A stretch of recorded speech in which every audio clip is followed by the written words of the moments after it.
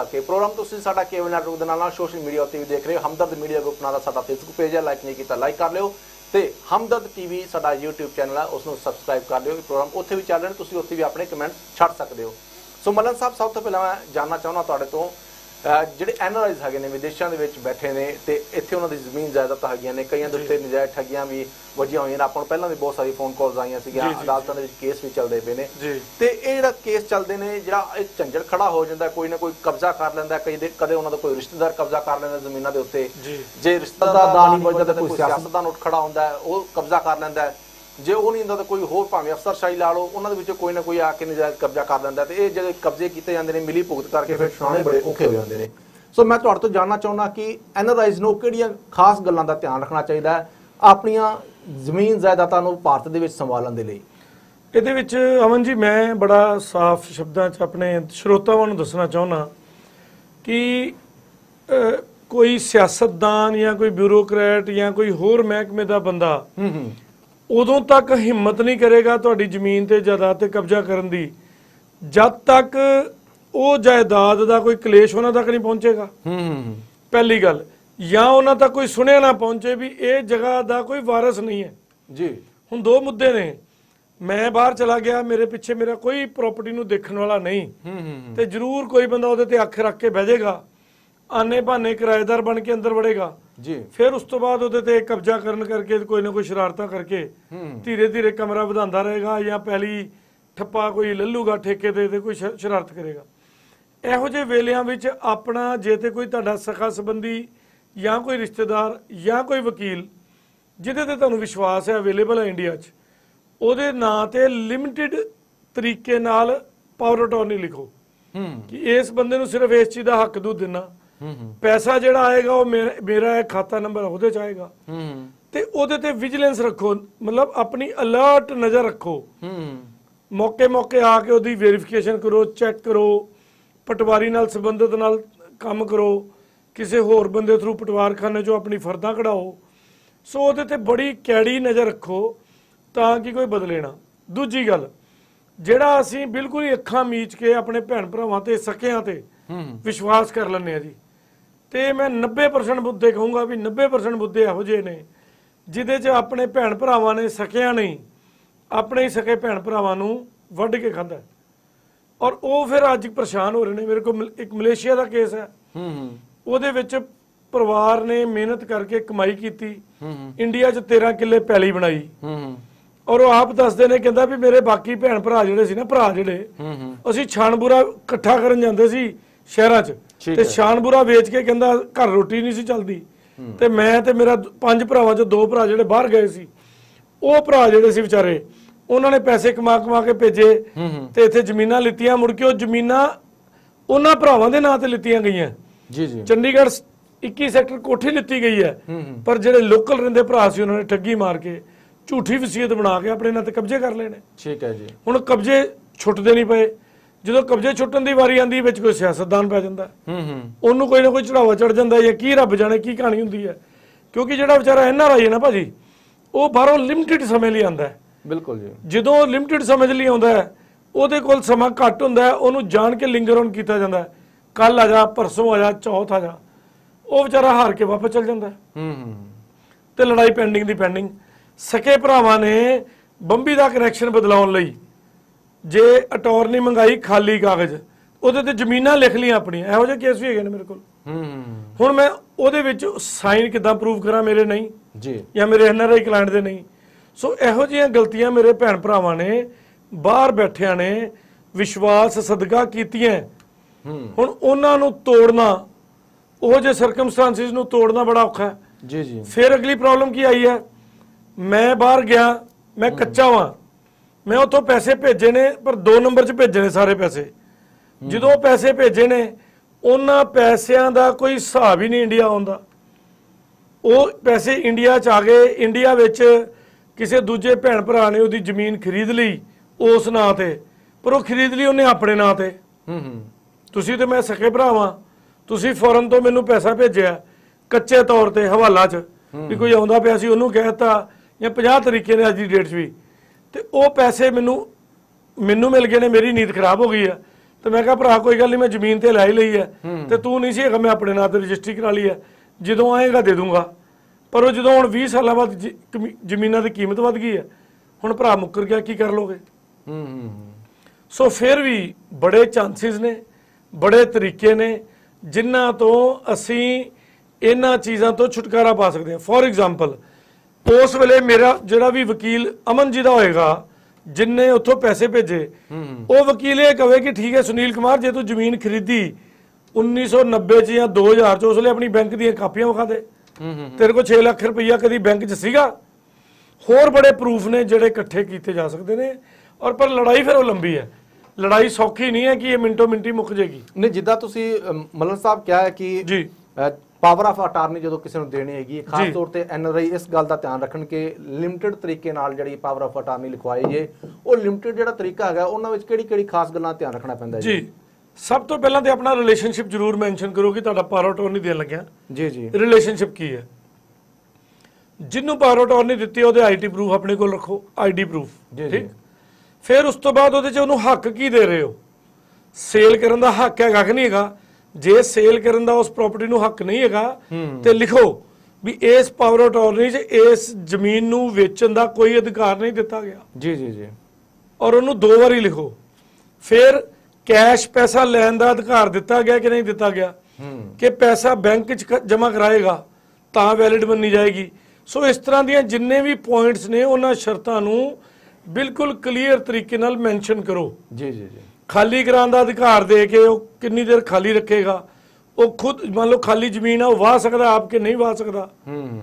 ਉਹ ਕੀ ਉਹਦੇ ਤੇ ਫਸਲ ਉਗਾ ਸਕਦਾ ਹੈ? ਕਿੰਨੀ ਦੇਰ ਬਾਅਦ ਉਹਦਾ ਰੈਂਡੀਸ਼ਨ ਆਫ ਅਕਾਊਂਟ ਜਮ੍ਹਾਂ ਕਰਾਏਗਾ? ਕਿਹੜੀ ਸ਼ਕਲ 'ਚ ਜਮ੍ਹਾਂ ਕਰਾਏਗਾ? ਹੂੰ। ਵੀ ਲੋਕਲ ਕੋਈ ਸੀਏ ਕੋਲੋਂ ਮੋਹਰ ਲਵਾਏਗਾ ਜੇ ਫਾਰਮ ਅਟੈਚ ਕਰੇਗਾ ਕਿਸ ਤਰੀਕੇ ਨਾਲ ਉਹ ਚੀਜ਼ਾਂ ਇਕੱਠੀਆਂ ਕਰਕੇ ਪ੍ਰੂਫ ਦੇ ਤੌਰ ਤੇ ਦੇਗਾ ਉਹ ਸਾਰੇ ਪੁਆਇੰਟਸ ਨੂੰ ਮੱਦੇ ਨਜ਼ਰ ਰੱਖਦੇ ਹੋਏ ਉਹਨਾਂ ਦੇ ਉੱਤੇ ਜੀਪੀਏ ਬਣਾਈ ਜਾਏਗੀ। ਜੀ। ਉਸ ਜੀਪੀਏ ਨੂੰ ਪ੍ਰੋਪਰ ਤਰੀਕੇ ਨਾਲ ਫੋਰਨ ਕੰਟਰੀ ਚੋਂ ਐਮਬੈਸੀ ਚੋਂ ਐਮਬੋਸਿੰਗ ਸਟੈਂਪ ਲੱਗਦੀ ਹੈ ਜਾਂ ਅਟੈਸਟ ਹੁੰਦੀ ਹੈ। ਉੱਥੋਂ ਦੇ ਇੰਡੀਅਨ ਕਿਸੇ ਬੈਂਕ ਚੋਂ ਵੀ ਲੱਗ ਸਕਦੀ ਹੈ। ਕਰਕੇ ਇੰਡੀਆ ਭੇਜੇ। ਇੰਡੀਆ ਭੇਜ ਕੇ ਇੱਥੋਂ ਦੀ ਮਿਨਿਸਟਰੀ ਚੋਂ ਉਹਦੀ ਐਮਬੋਸਿੰਗ ਕਰਾ ਕੇ ਹੂੰ ਹੂੰ। ਡੀਸੀ ਆਫਿਸ ਚੋਂ ਉਹਦੀ ਕਾਪੀ ਵਾਪਸ ਮੰਗਾਈ ਜਾਵੇ। ਮੰਗਾਉਣ ਤੋਂ ਬਾਅਦ ਉਹਨੂੰ ਐਗਜ਼ੀਕਿਊਟ ਕੀਤਾ ਜਾਵੇ। ਜੀ ਜੀ। ਉਸ ਤੋਂ ਬਾਅਦ ਉਹਨੂੰ ਖਾਰਜ ਕਰਨ ਦਾ ਵੀ ਇੱਕ ਤਰੀਕਾ ਬੜਾ ਵਧੀਆ। ਹੂੰ। ਪਹਿਲਾ ਤਰੀਕਾ ਖਾਰਜ ਕਰਨ ਦਾ ਕਿ ਉਹਦਾ ਨੋਟਿਸ ਕੱਢਿਆ ਜਾਵੇ ਜਿਸ ਬੰਦੇ ਦੇ ਨਾਂ ਤੇ ਆਪਾਂ ਪਾਵਰ ਅਟਾਰਨੀ ਬਣਾਈ ਸੀ। ਹੂੰ।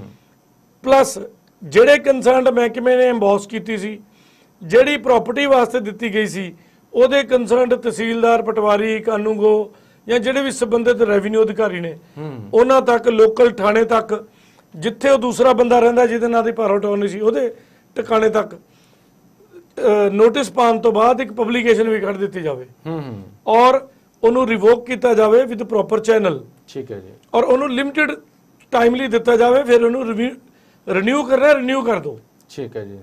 ਔਰ ਟਾਈਮ ਟੂ ਟਾਈਮ ਉਹਦਾ ਅਕਾਊਂਟ ਲਵੋ ਸਭ ਕੁਝ ਲਵੋ ਔਰ ਉਹਦੇ ਤੇ ਅਲਰਟ ਰਹੋ।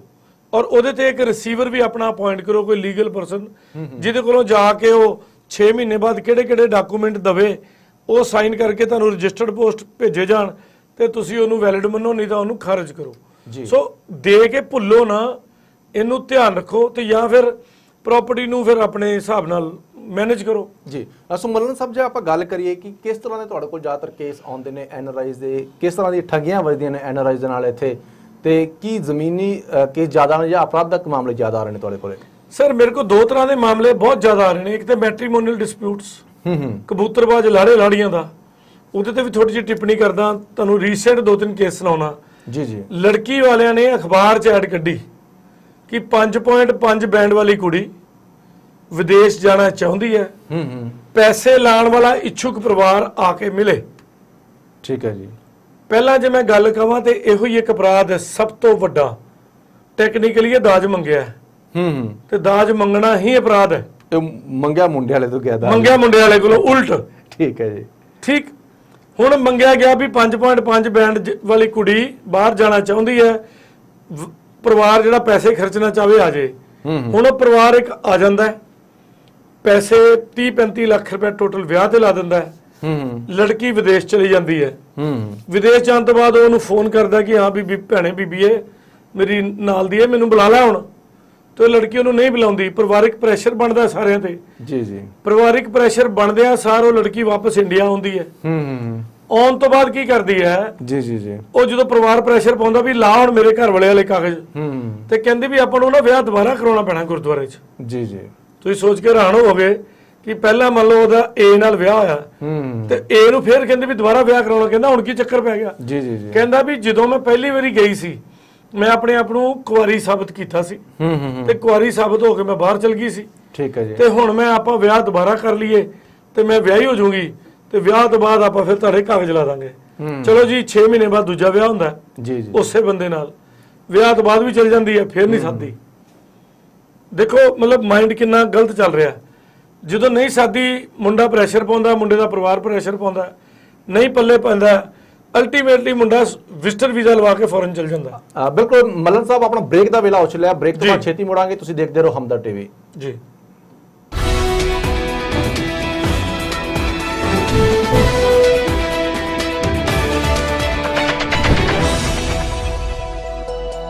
ਅਵਲ ਤੁਹਾਨੂੰ ਟਰੱਕਿੰਗ ਵਿੱਚ ਨਵਾਂ ਕੈਰੀਅਰ ਜਾਂ ਬਿਜ਼ਨਸ ਸ਼ੁਰੂ ਕਰਨ ਵਿੱਚ ਹੈਲਪ ਕਰ ਸਕਦਾ ਹੈ। ਟਰੱਕਿੰਗ ਇੰਡਸਟਰੀ ਵਿੱਚ ਹਰ ਇੱਕ ਚੀਜ਼ ਦਾ ਹੱਲ। ਅਵਲ। ਅਵਲ ਦਾ ਜ਼ਬਰਦਸਤ dispatch specialist course Awal trucking ਕੰਪਨੀਆਂ ਲਈ ਪਰਮਿਟ ਕੈਰੀਅਰ ਪੌਡਸ ਤੇ ਸਰਟੀਫਿਕੇਸ਼ਨਸ ਲੈ ਕੇ ਦਿੰਦੀ ਹੈ। ਕੈਨੇਡਾ ਤੇ ਅਮਰੀਕਾ ਵਿਚਕਾਰ ਟਰੱਕਿੰਗ ਵਪਾਰ ਨੂੰ ਸੁਖਾਲਾ ਬਣਾਓ। ਅਵਲ ਦੇ ਨਾਲ। ਅਵਲ ਐਕਸਪ੍ਰੈਸ ਤੇ AFM ਸੌਫਟਵੇਅਰ ਟਰੱਕਿੰਗ ਆਪਰੇਸ਼ਨਸ ਲਈ। ਡਰਾਈਵਰਸ ਤੇ ਡਿਸਪੈਚਰਸ ਲਈ ਅਵਲ ਦੀ mobile app Awal take the fast lane CWC Immigration is one of the largest immigration companies. ਇਹਨਾਂ ਦੇ 4 ਆਫਿਸ ਕੈਨੇਡਾ 'ਚ ਨੇ ਤੇ 12 ਇੰਡੀਆ 'ਚ। ਮੈਂ ਮਿਸਟਰ ਖੇਰਾ ਨੂੰ ਪਰਸਨਲੀ ਜਾਣਦਾ। ਮੈਂ ਉਹਨਾਂ ਦੇ ਆਫਿਸ ਵੀ ਗਿਆ ਤੇ ਉਹਨਾਂ ਦੇ ਕਲਾਇੰਟਸ ਨੂੰ ਵੀ ਮਿਲਿਆ। ਮੈਨੂੰ ਲੱਗਦਾ ਹੈ ਕਿ ਉਹ they believe in quality and they are dedicated to providing competent services to the clients ਸਤਾਰਿਆਂ ਦੀ ਪਸੰਦ ਤੇ ਤੁਹਾਡੇ ਸਾਰਿਆਂ ਦੀ ਪਸੰਦ CWC ਇਮੀਗ੍ਰੇਸ਼ਨ ਇਮੀਗ੍ਰੇਸ਼ਨ ਦੇ ਹਰ ਮਸਲੇ ਲਈ ਇੱਕੋ ਹੀ ਨਾਂ ਤੇ ਇੱਕੋ ਹੀ ਥਾਂ। ਇਮੀਗ੍ਰੇਸ਼ਨ ਅਪੀਲਾਂ ਤੇ ਇਨਵੈਸਟੀਗੇਸ਼ਨ ਦੇ ਮਾਹਿਰ CWC ਇਮੀਗ੍ਰੇਸ਼ਨ 9056704444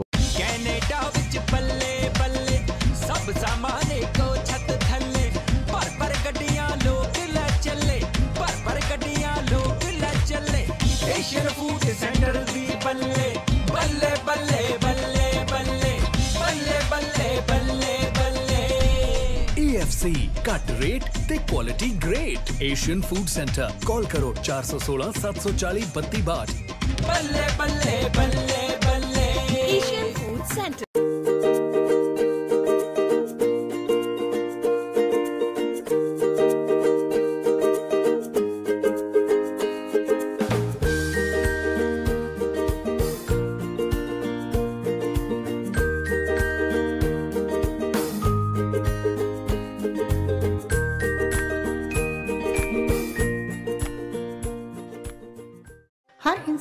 फ़र्ज़ बनता है कि अपनी सेहत का ख्याल रखे। फिर भी अगर कोई छोटी तो छोटी, वड्डी तो वड्डी नामुराद बीमारी ने घेर ही लिया है तो सिर्फ़ एक ही नाम जो सारी दुनिया तो लिया जड़िया बूटिया बिना साइड इफ़ेक्ट के इलाज करते हैं। सलाह मशवरे लिए सिर्फ़ एक बार फ़ोन करो, हर इलाज संभव है। पुराना तो जाने पछाने नाम है Paul and Paul herbal product call one eight seven seven seven seven seven four four four zero और nine zero five four zero five one five one five Paul and Paul herbal products ਮੈਂ ਦੇਖਿਆ ਤੁਸੀਂ ਕਈ ਦਿਨਾਂ ਤੋਂ ਬੜੇ ਪਰੇਸ਼ਾਨ। ਹੈ। ਅਸੀਂ ਅੱਜ ਗੱਲ ਕਰ ਰਹੇ ਹਾਂ ਕਾਨੂੰਨੀ ਦਾਅਪੇਚਾ ਤੇ ਖਾਸ ਤੌਰ ਤੇ ਚਰਚਾ ਹੋ ਰਹੀ ਹੈ ਕਿ ਜਿਹੜੇ ਐਨਆਰਆਈਜ਼ ਹੈਗੇ ਨੇ, ਉਹ ਭਾਰਤ ਦੇ ਵਿੱਚ, ਪੰਜਾਬ ਦੇ ਵਿੱਚ ਜਿਹੜੀਆਂ ਉਹਨਾਂ ਦੀਆਂ ਜ਼ਮੀਨ ਜਾਇਦਾਦਾਂ ਹੈਗੀਆਂ ਨੇ, ਉਹਨਾਂ ਦੀ ਸਾਂਭ ਸੰਭਾਲ ਕਿਵੇਂ ਕਰ ਸਕਦੇ ਨੇ, ਕਿਹੜੀਆਂ ਖਾਸ ਗੱਲਾਂ ਦਾ ਧਿਆਨ ਰੱਖ ਸਕਦੇ ਨੇ। ਕਬੂਤਰਬਾਜ਼ ਲਾੜੇ ਲਾੜੀਆਂ ਉੱਤੇ ਵੀ ਚਰਚਾ ਹੋ ਰਹੀ ਹੈ ਕਿ ਜਿਹੜੇ ਵਿਆਹਾਂ ਦੇ ਵਿਵਾਦ ਹੈਗੇ ਨੇ, ਉਹਨਾਂ ਕੇਸਾਂ ਦਾ ਕਿਵੇਂ ਛੇਤੀ ਨਿਪਟਾਰਾ ਹੋ ਸਕਦਾ ਹੈ ਤੇ ਜਿਹੜੇ ਕਬੂਤਰਬਾਜ਼ ਲਾੜੇ ਲਾੜੀਆਂ ਨੇ, ਉਹਨਾਂ ਦੇ ਉੱਤੇ ਸ਼ਿਕੰਜਾ ਕਿਵੇਂ ਕੱਸਿਆ ਜਾ ਸਕਦਾ ਹੈ ਤੇ ਅਜੇ ਧੋਖੇਬਾਜ਼ ਲਾੜੇ ਲਾੜਿਆਂ ਤੋਂ ਬਚਿਆ ਕਿਵੇਂ ਜਾ ਸਕਦਾ ਹੈ? ਸੋ ਤੁਸੀਂ ਵੀ ਕਿਸੇ ਵੀ ਕਾਨੂੰਨੀ ਰਾਏ ਲੈਣੀ ਹੋਵੇ ਤਾਂ ਕਿਸੇ ਵੀ ਕੇਸ ਦੇ ਵਿੱਚ ਕਾਨੂੰਨੀ ਰਾਏ ਲੈਣੀ ਹੋਵੇ ਸਕਰੀਨ ਦੇ ਉੱਤੇ ਜਿਹੜੇ ਨੰਬਰ ਚੱਲ ਰਹੇ ਉਸ ਉੱਤੇ ਕਾਲ ਕਰਕੇ ਲੈ ਸਕਦੇ ਹੋ। ਸੋ ਮੱਲਨ ਸਾਹਿਬ ਤੁਸੀਂ ਗੱਲ ਕਰ ਰਹੇ ਸੀ ਜਿਹੜੇ ਕਬੂਤਰਬਾਜ਼ ਲਾੜੇ ਲਾੜੀਆਂ ਹੈਗੇ ਨੇ। ਉਹਨਾਂ ਦੇ ਕੇਸ ਜਿਹੜੇ ਤੁਹਾਡੇ ਕੋਲ ਜ਼ਿਆਦਾ ਸਾਹਮਣੇ ਆ ਰਹੇ ਨੇ। ਜੀ ਜੀ ਜੀ। ਤੋਂ ਮੇਰਾ ਮੁੱਦਾ ਚੱਲ ਰਿਹਾ ਸੀਗਾ ਕਿ ਉਸ ਲੜਕੀ ਨੇ 6 ਮਹੀਨੇ ਬਾਅਦ ਆ ਕੇ ਦੁਬਾਰਾ ਵਿਆਹ ਕਰਾਇਆ। ਜੀ ਜੀ। ਵਿਆਹ ਕਰਾ ਕੇ ਫਿਰ ਉਹਦਾ ਹਸਬੰਡ ਕਹਿੰਦਾ ਕਿ ਮੈਨੂੰ ਲੈ ਜਾ। ਉਹ ਲੜਕੀ ਫਿਰ ਨਹੀਂ ਲੈ ਕੇ ਜਾਂਦੀ ਫਿਰ ਕਿਸੇ ਤਰੀਕੇ ਉਹ ਬੰਦਾ ਆਪਣਾ ਵਿਜ਼ਟਰ ਵੀਜ਼ਾ ਲਵਾਉਂਦਾ ਨਿਊਜ਼ੀਲੈਂਡ ਪਹੁੰਚਦਾ ਹੈ। ਹੂੰ। ਜਾ ਕੇ ਉਹ ਕੁੜੀ ਕੋ ਰਹਿੰਦਾ ਹੈ ਤੇ ਉੱਥੇ ਉਹ ਲੜਕੀ ਇਸ ਹਸਬੰਡ ਤੇ ਆਪਣੀ ਕਿਸੇ ਫਰੈਂਡ ਕੋਲੋਂ ਮੋਲੈਸਟੇਸ਼ਨ ਦਾ ਕੇਸ ਪਾ ਦਿੰਦੀ ਹੈ। ਹੂੰ ਹੂੰ। ਚਲੋ ਉਹਦੇ ਵਾਸਤੇ ਉਹ 2 ਸਾਲ ਉੱਥੇ ਪਨਿਸ਼ਮੈਂਟ ਕਰਦਾ ਹੈ ਹੋਮ ਡਿਟੈਂਸ਼ਨ ਹੁੰਦੀ ਹੈ। ਹੂੰ। ਪਲੱਸ 10000 ਜੁਰਮਾਨਾ ਹੁੰਦਾ ਹੈ ਵਾਪਸ ਆ ਜਾਂਦਾ ਮੁੰਡਾ। ਜੀ, ਜੀ। ਆਪਣਾ ਇਮੀਗ੍ਰੇਸ਼ਨ ਚ ਕੇਸ ਕਲੀਅਰ ਕਰਾ ਕੇ। ਉਸ ਤੋਂ ਬਾਅਦ ਵੀ 2 ਸਾਲ ਬੀਤ ਜਾਂਦੇ ਨੇ। ਤੇ ਫਿਰ ਉਹਨੂੰ ਤਰਲੇ ਕੱਢ ਰਿਹਾ ਪਰਿਵਾਰ ਕੋ ਜਾ ਰਿਹਾ ਪਰਿਵਾਰ ਕਹਿੰਦਾ ਮੈਂ ਕੀ ਕਰਾਂ? ਕੁੜੀ ਸਾਡੇ ਕਹਿਣੇ ਚ ਨਹੀਂ ਹੈ ਇਹ ਹੈ ਉਹ ਹੈ। ਤੋਂ ਅੱਜ 15 ਕੁ ਦਿਨ ਪਹਿਲਾਂ ਉਹ ਪਰਿਵਾਰ ਮੇਰੇ ਕੋਲ ਆਇਆ ਜੀ। ਹੂੰ ਹੂੰ। ਲੜਕੀ ਨਾਲ ਮੈਂ ਫੋਨ ਤੇ ਰਾਬਤਾ ਕਾਇਮ ਕੀਤਾ। ਲੜਕੀ ਹਵਾ 'ਚ ਤਲਵਾਰਾਂ ਮਾਰ ਰਹੀ ਸੀ। ਅੱਛਾ ਤੇ ਅੱਜ ਜਦੋਂ ਅਸੀਂ ਉਹਨੂੰ ਦੱਸਿਆ ਵੀ ਤੇਰੇ ਤੇ ਅਸੀਂ ਇੱਥੇ ਪੁਲਿਸ 'ਚ ਕੰਪਲੇਂਟ ਦਰਜ ਕਰਾਤੀ ਹੈ। ਹੂੰ ਹੂੰ। ਔਰ ਨਿਊਜ਼ੀਲੈਂਡ ਦੀ ਜਿਹੜੀ ਵੀ ਪੁਲਿਸ ਹੈ ਜੁਡੀਸ਼ੀਅਲ ਸਿਸਟਮ ਹੈ ਇਮੀਗ੍ਰੇਸ਼ਨ ਕੰਪਨੀ ਹੈ ਅਸੀਂ ਉਹਦੇ 'ਚ ਵੀ ਤੇਰੀ ਕੰਪਲੇਂਟ ਦਰਜ ਕਰਾਤੀ ਹੈ। ਵਿਦ ਇਨ 2 ਟੂ 3 ਡੇਜ਼ ਤੇਰੇ ਤੱਕ ਸਾਰਾ ਕੁਝ ਪਹੁੰਚ ਜਾਏਗਾ। ਤੇ ਮੈਨੂੰ ਅੱਗੋਂ ਲਿਖਦੀ ਹੈ ਕਿ who are you to send me this message so ਮੈਂ ਉਹਨੂੰ ਦੱਸਿਆ ਕਿ ਮੈਂ ਤੇਰਾ ਮੈਂ ਤੇਰੇ ਪਤੀ ਦਾ ਲਾਇਰ ਹਾਂ। ਤੇ ਮੇਰੀ ਮੋਰਲ ਡਿਊਟੀ ਬਣਦੀ ਹੈ ਮੇਰੀ ਟੈਕਨੀਕਲ ਡਿਊਟੀ ਬਣਦੀ ਹੈ ਕਿ you should be get informed ਕਿਉਂਕਿ ਲਾਅ 'ਚ ਸਾਡੇ ਟਰਮ ਹੈ ਆਡੀ ਅਲਟਰਮ ਪਰਟਮ let the other party be given an opportunity and be heard ਤੇ ਮੈਂ ਚੋਰੀ ਨਾਲ ਤੇਰੇ ਤੇ ਵਾਰ ਨਹੀਂ ਕਰ ਰਿਹਾ। ਮੈਂ ਤੈਨੂੰ ਦੱਸ ਕੇ ਵਾਰ ਕਰ ਰਿਹਾ ਕਿ ਤੇਰੇ ਤੇ ਪੁਲਿਸ ਕੰਪਲੇਂਟ ਪਾਤੀ ਹੈ। ਤੇਰੇ ਤੇ ਬਾਈ ਗੇਮੀ ਦਾ ਕੇਸ ਪੈਣ ਲੱਗਾ ਹੈ। ਤੇਰੇ ਤੇ ਠੱਗੀ ਦਾ ਕੇਸ ਪੈਣ ਲੱਗਾ ਹੈ। ਤੇਰੇ ਤੇ ਤੇਰੇ ਪਰਿਵਾਰ ਤੇ। ਸੋ ਤੂੰ ਆਪਣੇ ਆਪ ਨੂੰ ਡਿਫੈਂਡ ਕਰ। ਜੇ ਤੂੰ ਸੱਚੀ ਹੋਏਗੀ ਕਾਨੂੰਨ ਨੇ ਤੇ ਸੱਚ ਦਾ ਪੱਖ। ਕਾਨੂੰਨ ਨੂੰ ਬਚਾਉਣਾ ਉਹਨੇ ਮੈਨੂੰ ਨਹੀਂ ਬਚਾਉਣਾ ਉਹਨੇ ਕੁੜੀ ਨੂੰ ਨਹੀਂ ਬਚਾਉਣਾ। ਸੋ ਦੋ ਦਿਨ ਦੀ ਮਿਹਨਤ ਚ ਆਪਣਾ ਅਮਨ ਜੀ ਮੈਨੂੰ ਲੜਕੀ ਦੇ ਇੰਡੀਆ ਦੇ ਵਕੀਲ ਦਾ ਫੋਨ ਆਇਆ ਅੱਜ। ਹੂੰ ਹੂੰ। ਕਿ ਆਪਾਂ ਚਾਹੁੰਦੇ ਕੀ ਆ? ਮੈਂ ਕਿਹਾ ਕੀ ਗੱਲ ਹੋ ਗਈ ਜਨਾਬ? ਤੁਹਾਨੂੰ ਕਿੱਥੋਂ ਪਤਾ ਲੱਗ ਗਿਆ? ਇੱਕ ਪਾਸੇ ਕੁੜੀ ਮੈਨੂੰ ਇਹ ਕਹਿ ਰਹੀ ਹੈ ਔਰ ਉਹਨੇ ਜਿਹੜੀ ਮੈਨੂੰ ਮੇਨ ਕਲਿੰਚਿੰਗ ਇਸ਼ੂ ਹੈ ਬਾਕੀ ਵੀ ਭੈਣ ਭਰਾਵਾਂ ਨੂੰ ਜਿਨ੍ਹਾਂ ਦਾ ਕਬੂਤਰਬਾਜ਼ ਲਾੜੇ ਲਾੜੀਆਂ ਨਾਲ ਵਿਆਹ ਦੱਸਦੇ ਆ ਫੋਰਨ ਦਾ ਇੱਕ ਨਿਯਮ ਹੈ ਕਿ ਜੇ ਤੁਸੀਂ 2 ਸਾਲ ਤੋਂ ਵੱਖਰੇ ਰਹਿ ਰਹੇ ਹੋ ਹੂੰ ਹੂੰ। ਤੁਹਾਡੀ ਕੋਈ ਇੰਟਰੈਕਸ਼ਨ ਮੰਨ ਲਓ ਉਧਰ ਜਿਹੜਾ ਤੁਹਾਡਾ ਪਾਰਟਨਰ ਸ਼ੋ ਨਾ ਕਰੇ ਤੇ ਤੁਹਾਡਾ ਤਲਾਕ ਬਹੁਤ ਸੌਖਾ ਹੈ। ਹੂੰ। ਤੋ ਇਸ ਕਰਕੇ ਆਪਣੇ ਉਧਰਲੇ ਪਾਰਟਨਰ ਨਾਲ ਈਮੇਲ WhatsApp ਫੋਨ ਤੇ ਮਿਸ ਕਾਲਾਂ ਦੇ ਕੇ ਉਹਦਾ ਰਿਕਾਰਡ ਰੱਖਦੇ ਰਹੋ। ਹੂੰ ਹੂੰ। ਉਹਨਾਂ ਦੇ ਮਾਪਿਓ ਨਾਲ ਇੱਥੇ ਰਿਕਾਰਡ ਰੱਖਦੇ ਰਹੋ। ਜੇ ਉਹ ਇਹ ਝੂਠ ਬੋਲਣਗੇ ਕਿ ਸਾਡੇ ਨਾਲ ਇਹਨੇ ਰਾਬਤਾ ਕਾਇਮ ਨਹੀਂ ਸੀ ਰੱਖਿਆ ਇਹਦੇ ਬਾਰੇ ਪਤਾ ਨਹੀਂ ਸੀ ਉਹਨਾਂ ਨੂੰ ਹਾਰਡ ਕਾਪੀ ਚਿੱਠੀਆਂ ਦੀ 100 150 ਰੁਪਏ ਲੱਗੇਗਾ ਚਿੱਠੀਆਂ ਪਾਉਂਦੇ ਰਹੋ। ਮਹੀਨੇ 2 ਮਹੀਨੇ ਬਾਅਦ। ਤੇ ਜੇ ਉਹ ਇਹੋ ਜੀ ਗਲਤ ਗੱਲ ਲਿਖਣਗੇ ਉਹਨਾਂ ਤੇ ਉਹਦੇ ਤੇ ਖਿਲਾਫ ਵੀ ਪਰਚਾ ਹੋ ਸਕਦਾ ਸੋ ਤੁਸੀਂ ਕਨੈਕਸ਼ਨ ਆਪਣਾ ਬਣਾ ਕੇ ਰੱਖੋ। ਹੂੰ ਹੂੰ। ਹੁਣ ਅਲਟੀਮੇਟਲੀ ਉਹਨਾਂ ਨੂੰ ਕਿਹਾ ਵੀ ਮੁੰਡੇ ਵਾਲਿਆਂ ਦਾ 30 40 50 ਲੱਖ ਰੁਪਏ ਜੋ ਲੱਗਾ ਜਾਂ ਤੇ ਉਹ ਮੋੜੋ ਤੇ ਜਾਂ ਫਿਰ ਮੁੰਡੇ ਨੂੰ ਉੱਥੇ ਲੈ ਕੇ ਜਾਓ ਸੈਟਲ ਕਰੋ। ਮਤਲਬ ਸਾਹਿਬ ਇਹਦੇ ਵਿੱਚ ਜਿਹੜਾ ਕੇਸ ਤੁਸੀਂ ਗੱਲ ਕਰ ਰਹੇ ਹੋ ਕਿ ਸਭ ਤੋਂ ਪਹਿਲਾਂ ਇੱਕ ਅਖਬਾਰ ਦੇ ਵਿੱਚ ਐਡ ਆਉਂਦੀ ਹੈ। ਜੀ। ਪਰਿਵਾਰ ਕਹਿੰਦਾ ਹੈ ਕਿ ਕੁੜੀ ਨੇ ਭਾਈ ਇੰਨੇ ਬੈਂਡ ਲਏ ਹੋਏ ਨੇ ਜੀ। ਵਿਦੇਸ਼ ਜਾਣਾ ਚਾਹੁੰਦੀ ਹੈ। ਜੀ। ਕੋਈ 35 40 ਲੱਖ ਰੁਪਇਆ ਲਾ ਸਕਦਾ ਤੇ ਆ ਜਾਓ ਭਾਈ ਸੱਜਣ। ਜੀ। ਉਹਨਾਂ ਚੋਂ ਇੱਕ ਸੱਜਣ ਉੱਠ ਕੇ ਆ ਜਾਂਦਾ ਹੈ। ਜੀ। ਤੁਸੀਂ ਪਹਿਲੀ ਸ਼ੁਰੂਆਤੀ ਗੱਲ ਇਹ ਕੀਤੀ ਸੀ ਕਿ ਇਸ ਮਾਮਲੇ ਦੇ ਵਿੱਚ ਸਭ ਤੋਂ ਪਹਿਲੀ ਵੱਡੀ ਗਲਤੀ ਤਾਂ ਜਿਹੜੇ ਕੁੜੀ ਵਾਲੇ ਨੇ ਐਡ ਦਿੱਤੀ ਉਹਨਾਂ ਦੀ ਆ। ਜਾਂਦੀ ਹੈ। ਕਿ ਟੈਕਨੀਕਲ ਪੱਖੋਂ ਗਲਤ ਹੈਗਾ ਜੀ। ਤੇ ਉਸ ਤੋਂ ਬਾਅਦ ਕੀ ਇਸ ਮਾਮਲੇ ਵਿੱਚ ਉਹ ਮੁੰਡੇ ਵਾਲੇ ਦੀ ਗਲਤੀ ਨਹੀਂ ਆਂਦੀ ਜਿਹੜਾ ਇਹ ਦੇਖ ਕੇ ਕਿ ਐਡ ਪੜ ਕੇ ਆ ਜਾਂਦਾ ਕਿ ਹਾਂਜੀ ਮੈਂ ਪੈਸਾ ਲਾਉਣਾ ਚਾਹੁੰਦਾ। ਬਿਲਕੁਲ ਉਸ ਤੋਂ ਜੇ ਪੈਸਾ ਉਹ ਲਾ ਹੀ ਦਿੰਦਾ ਉਸ ਤੋਂ ਬਾਅਦ। ਤੇ ਫਿਰ ਇਸ ਸਾਰੇ ਮਾਮਲੇ ਦਾ ਵਿਵਾਦ ਕੀ ਖੜਾ ਹੋ ਜਾਂਦਾ? ਕਿਉਂਕਿ ਇਸ ਕਰਕੇ ਬਰਾਬਰ ਦੇ ਜ਼ਿੰਮੇਵਾਰ ਤਾਂ ਦੋਨੋਂ ਹੀ ਹੋਏ ਨਾ। ਨਹੀਂ ਸਰ ਥੋੜਾ ਜਿਹਾ ਫ਼ਰਕ ਹੈ। ਹੂੰ ਹੂੰ। ਗੱਲ ਹੈਗੀ ਹੈ ਕੰਟਰੈਕਟ ਜੇ ਮੈਨੂੰ ਵਿਆਹ ਦਾ ਨਾਂ ਨਾ ਦੇਵਾਂ ਤੇ ਕੰਟਰੈਕਟ ਦਾ ਨਾਮ ਦੇ ਦਾਂ। ਹੂੰ ਕੰਟਰੈਕਟ ਕੀ ਹੋਇਆ? ਆਫਰ ਦਿੱਤੀ ਗਈ ਕਿ 5.5 ਬੈਂਡ ਦੀ ਮੇਰੀ ਕੁੜੀ ਹੈ। ਇਹਦੇ ਤੇ ਤੁਸੀਂ ਜੋ ਵੀ ਪੈਸੇ ਲੱਗਦੇ ਲਾ ਲਓ। ਇਹ ਬਾਹਰ ਜਾਏਗੀ ਤੇ ਤੁਹਾਡੇ ਮੁੰਡੇ ਨੂੰ ਵੀ ਲੈ ਜਾਏਗੀ। ਅੱਛਾ ਜੀ। ਆਫਰ ਹੋਈ ਹੈ। ਉਹਨੂੰ ਅਸੈਪਟ ਕੀਤਾ ਗਿਆ ਮੁੰਡੇ ਵਾਲਿਆਂ ਵੱਲੋਂ। ਔਰ ਵਾਈਸ ਵਰਸਾ ਜਾਂ ਮੁੰਡੇ ਵਾਲਿਆਂ ਨੇ ਦਿੱਤੀ ਹੈ ਤੇ ਕੁੜੀ ਵਾਲਿਆਂ ਨੇ ਅਸੈਪਟ ਕੀਤਾ ਕਰਨ ਤੋਂ ਬਾਅਦ ਪਹਿਲਾ ਪਾਰਟ ਐਗਜ਼ੀਕਿਊਟ ਹੋ ਗਿਆ। ਇੱਕ ਪਾਰਟੀ ਨੇ ਪੈਸੇ ਲਾਤੇ ਆ ਕੁੜੀ ਜਾਂ ਮੁੰਡਾ ਬਾਹਰ ਪਹੁੰਚ ਗਿਆ। ਹੂੰ ਹੂੰ। ਉੱਥੇ ਪਹੁੰਚਣ ਤੋਂ ਬਾਅਦ ਹੁਣ ਦੂਜਾ ਪਾਰਟ ਐਗਜ਼ੀਕਿਊਟ ਹੋਣਾ। ਹੈ। ਹੂੰ। ਹੂੰ ਜੇ ਕੁੜੀ ਬਾਹਰ ਚਲ ਗਈ ਹੈ ਤਾਂ ਉਹਨੇ ਮੁੰਡੇ ਦੇ ਪੀਆਰ ਦੇ ਪੇਪਰ ਲਾਉਣੇ ਆ। ਹੂੰ ਹੂੰ। ਉਹ ਵਾਲਾ ਪਾਰਟ ਜਦੋਂ ਐਗਜ਼ੀਕਿਊਟ ਨਹੀਂ ਹੋਇਆ ਇਹਦਾ ਮਤਲਬ ਬ੍ਰੀਚ ਆਫ ਕੰਟਰੈਕਟ ਹੋਇਆ। ਹੂੰ ਹੂੰ। ਮੀਨਸ ਧੋਖਾ ਹੋਇਆ ਦੋਸੀ ਭਾਸ਼ਾ 'ਚ। ਫੋਰਜਰੀ ਹੋਈ ਹੈ। ਪਰ ਮੇਰੇ ਕੇਸ 'ਚ ਜੇ ਮੈਂ ਗੱਲ ਕਰਾਂ ਜਿਹਦੀ ਮੈਂ ਗੱਲ ਕਰ ਰਿਹਾ ਉਸ ਲੜਕੀ ਦੀ ਉਸ ਲੜਕੀ ਦਾ ਪਹਿਲਾਂ ਵੀ ਵਿਆਹ ਹੋਇਆ ਸੀ ਹਲੇ ਮੇਰਾ ਗੱਲ ਪੂਰੀ ਨਹੀਂ ਮੁੱਕੀ। ਹੂੰ ਹੂੰ।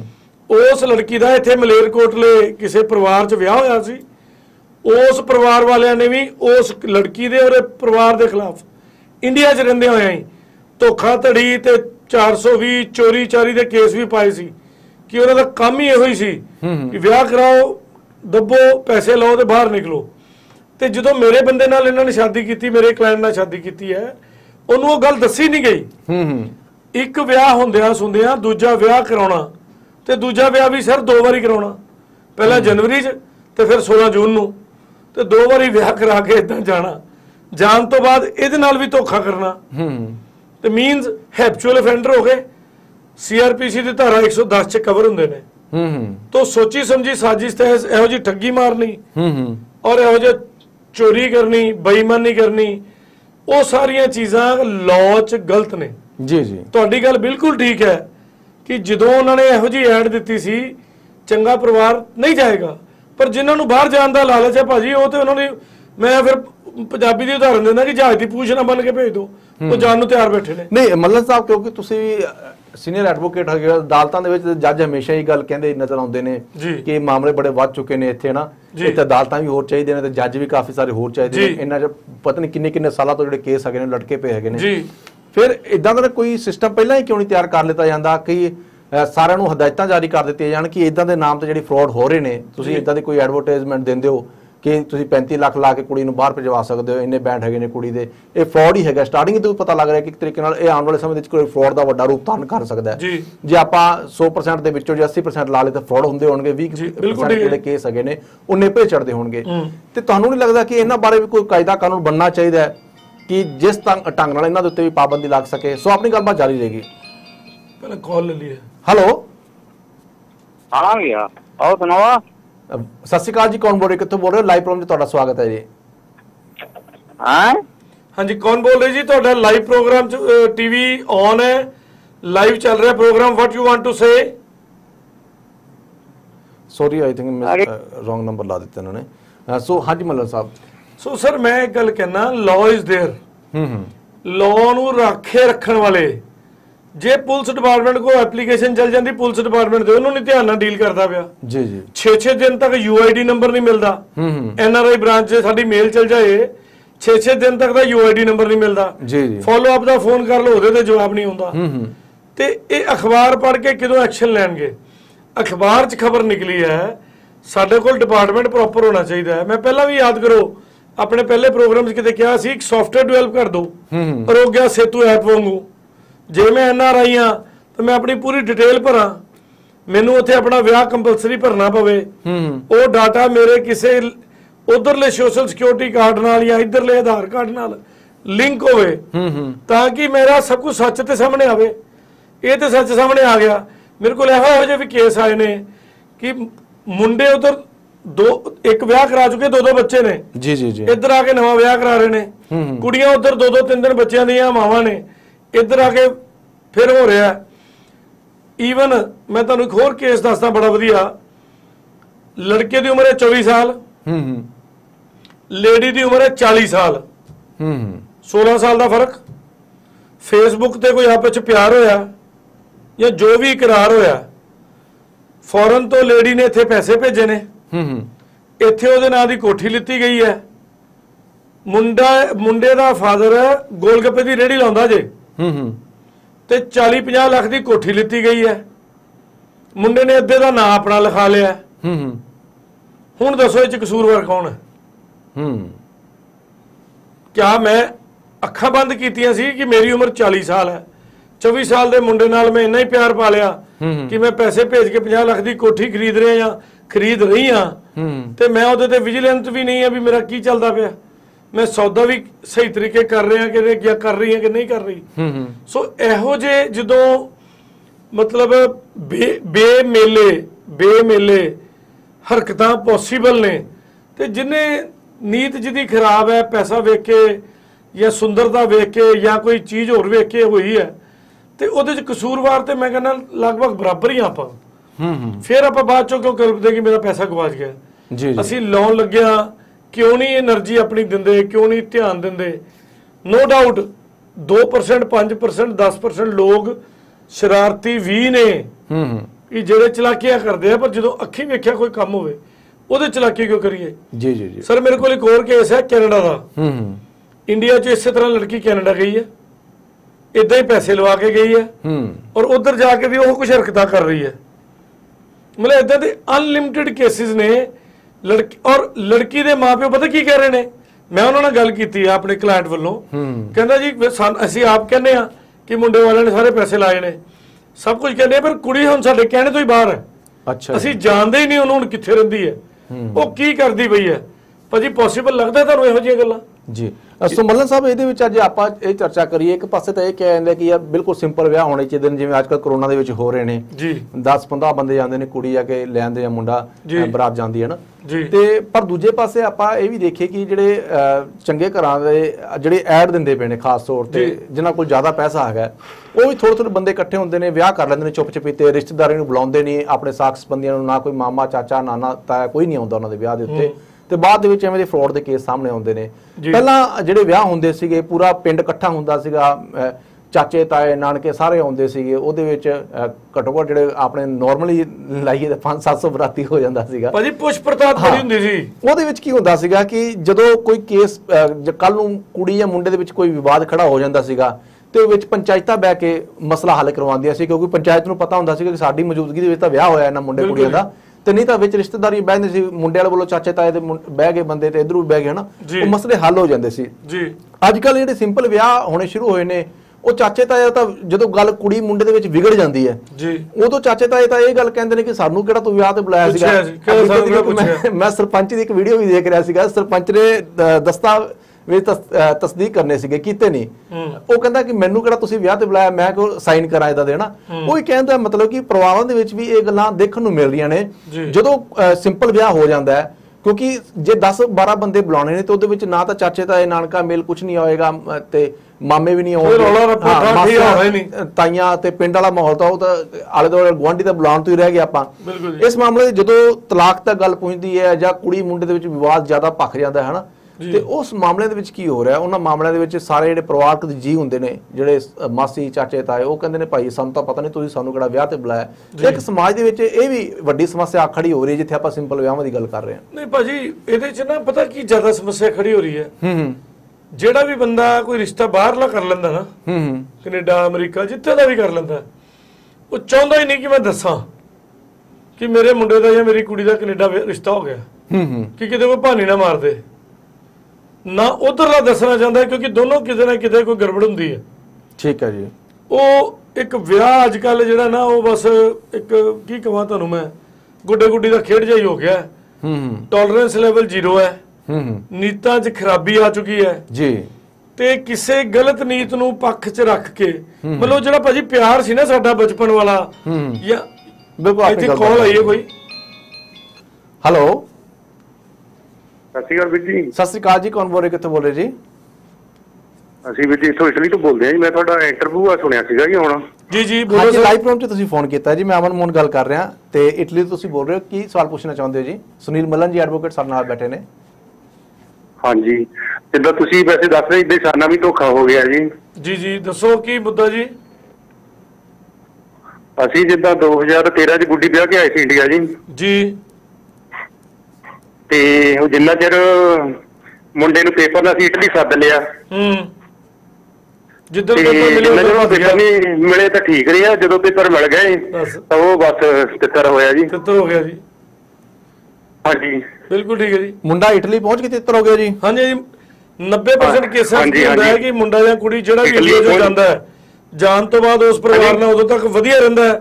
ਜਦ ਤੱਕ ਉਹਦੇ ਪੇਪਰ ਨਹੀਂ ਬਣਦੇ ਜਿੱਦਣ ਪੇਪਰ ਬਣ ਜਾਂਦੇ ਆ ਹਾਂਜੀ। 15 20 ਦਿਨ ਜਾਣੇ ਬਹਾਨੇ ਕਰਕੇ ਤੇ ਸਮਾਨ ਲੈ ਕੇ ਗਾਇਬ ਹੋ ਜਾਂਦੇ ਜੀ ਤੇ ਸਰ ਇਸ ਤੇ ਅਗ- ਅਗਲੀ ਤੁਸੀਂ ਕਾਰਵਾਈ ਕੀ। ਕੀਤੀ ਫਿਰ ਉੱਥੇ ਇਟਲੀ ਦੇ ਵਿੱਚ ਜਦੋਂ ਤਿੱਤਰ ਹੋ ਗਿਆ ਤਾਂ ਅਸੀਂ ਅਸੀਂ ਜਿੱਦਾਂ 2014 ਦੀ ਗੱਲ ਹੋਇਆ ਜੀ ਅਸੀਂ ਐਸੇ ਵੇਲੇ ਕੁਝ ਨਹੀਂ ਕੀਤਾ ਜੀ ਬਸ ਸਾਨੂੰ ਕੀ ਕਰਨਾ ਚਾਹੀਦਾ ਇੰਡੀਆ ਆਣ ਕੇ ਜਿੱਦਾਂ ਵਿਆਹ ਇੰਡੀਆ ਜੈਕਟਰ ਹੋਇਆ ਹੈ ਜੀ ਨਹੀਂ ਮੈਂ ਦੱਸਦਾ ਜੀ ਉਹਦੇ ਵਾਸਤੇ ਸਭ ਤੋਂ ਪਹਿਲਾਂ ਤਾਂ ਉਹਦੀ ਸ਼ਿਕਾਇਤ ਕਰਨੀ ਚਾਹੀਦੀ ਹੈ ਜੀ ਇੰਡੀਆ 'ਚ ਉਹਦੀ ਕੰਪਲੇਂਟ। ਪਾਉਣੀ ਚਾਹੀਦੀ ਹੈ ਜਿਹੜੇ ਵੀ ਤੁਹਾਡੇ ਸਾਰੇ। ਫੈਕਟਸ ਨੇ ਤੁਸੀਂ ਤੁਹਾਡੀ ਬੇਟੀ ਮੇਰੇ ਨਾਲ ਠੀਕ ਹੈ ਜੀ। ਵੀਡੀਓ ਕਾਲ ਕਰ ਲਓ ਚਾਹੇ ਮੈਨੂੰ ਸਿੱਧਾ ਕਾਲ ਕਰ ਲਓ ਕੱਲ ਕੇ ਨਾ ਮੈਨੂੰ ਪਹਿਲਾਂ ਠੀਕ ਹੈ ਜੀ। ਡਿਟੇਲ ਲਿਖਾਓ ਵੀ ਵਿਆਹ 'ਚ ਜੇ ਆਪਾਂ ਠੀਕ ਹੈ ਕਿੱਦਾਂ ਜੀ। ਆਪਸ 'ਚ ਇੱਕ ਦੂਜੇ ਨੂੰ ਜਾਣਿਆ ਜਾਣਨ ਤੋਂ ਬਾਅਦ ਫਿਰ ਵਿਆਹ ਹੋਇਆ ਉੱਥੇ ਆਪਾਂ ਕੀ ਕੁਝ ਕੀਤਾ ਵਿਆਹ ਤੋਂ ਬਾਅਦ ਜਿਹੜੀ ਐਫਰਟਸ ਠੀਕ ਹੈ ਜੀ। ਕੀਤੀਆਂ ਤੇ ਉਹ ਜਿਹੜਾ ਬੰਦਾ ਗਿਆ ਫਿਰ ਹਾਂਜੀ। ਆਪਾਂ ਜੋ ਵੀ ਉਹਦਾ ਬੈਸਟ ਪੋਸੀਬਲ ਵੇ ਨਿਕਲਦਾ ਹੈ ਜੇ ਉਹ ਸਕਾਉਂਡਰ ਹੈ ਤੇ ਉਹਦੀ ਠੀਕ ਹੈ। ਉਹਦੇ ਉਸ ਹਿਸਾਬ ਦੀ ਕਾਰਵਾਈ ਜੇ ਉਹਦੇ 'ਚ ਕੋਈ ਦਾਜ ਦੀ ਮੰਗ ਹੈ ਤੇ ਉਹਦੇ ਹਿਸਾਬ ਨਾਲ ਕਾਰਵਾਈ ਜੇ ਉਹਨੇ ਸਾਡੇ ਨਾਲ ਫਰਾਡ ਕਰਕੇ ਹਾਂਜੀ। ਕੋਈ ਹੋਰ ਵਿਆਹ ਕਰਾ ਲਿਆ ਉਹਦੀ ਕਾਰਵਾਈ ਵੈਸੇ ਸਾਨੂੰ ਫਰੋਡ ਹੀ ਨਹੀਂ ਕੀਤਾ ਵਿਆਹ ਨਹੀਂ ਹਲੇ ਉਹ ਨਹੀਂ ਕਰਾਇਆ। ਜਿੱਦਾਂ ਫਰੋਡ ਸਾਨੂੰ ਕੀਤਾ ਤਾਂ ਵੈਸੇ ਉਦੋਂ ਜਿੱਦਾਂ ਚੱਕਰ ਹੋਇਆ ਜੀ। ਭਾਜੀ ਆਪਾਂ ਕਿਸ ਤਰ੍ਹਾਂ ਕਹਿ ਸਕਦੇ ਨੇ ਵਿਆਹ ਨਹੀਂ ਕਰਾਇਆ? ਕਿਆ ਪਤਾ ਉਹਨੇ ਚੁੱਪ ਚੁਪੀਤੇ ਕਿਸੇ ਨੂੰ ਰੱਖ ਲਿਆ ਹੋਵੇ ਨਾਲ। ਸ਼ਾਇਦ ਹੋ ਸੋ, ਸਕਦਾ ਮੈਂ ਤੁਹਾਡੀ ਸਾਲ ਹੋ ਗਏ ਸਾਨੂੰ ਤਾਂ ਕੋਈ ਵੈਸੇ ਪਤਾ ਹੀ ਨਹੀਂ ਕਿੱਥੇ ਹੈ। ਮੈਂ ਤੁਹਾਡੇ ਤੋਂ ਇਹ ਜਾਨਣਾ ਚਾਹੁੰਦਾ ਕਿ ਜਿੱਦਾਂ ਤੁਸੀਂ ਦੱਸ ਰਹੇ ਹੋ ਕਿ ਮੁੰਡੇ ਉੱਥੇ ਪਹੁੰਚਿਆ ਤੇ ਕੋਈ ਰੀਜ਼ਨ ਤਾਂ ਹੋਣਾ ਹੈ ਕੋਈ ਕਾਰਨ ਤਾਂ ਹੋਣਾ ਹੈ ਕਿ ਲੜਾਈ ਝਗੜਾ ਹੋਇਆ ਕੁਝ ਹੋਇਆ ਕਿ ਮੁੰਡਾ ਇੱਕਦਮ ਤਿੱਤਰ ਬਿੱਤਰ ਕਿਵੇਂ ਹੋ ਗਿਆ? ਕੁਝ ਕੋਈ ਗੱਲ ਹੋਈ ਉਸ ਵੇਲੇ? ਕੋਈ ਯਾਦ ਹੋਊਗਾ ਤੁਹਾਨੂੰ?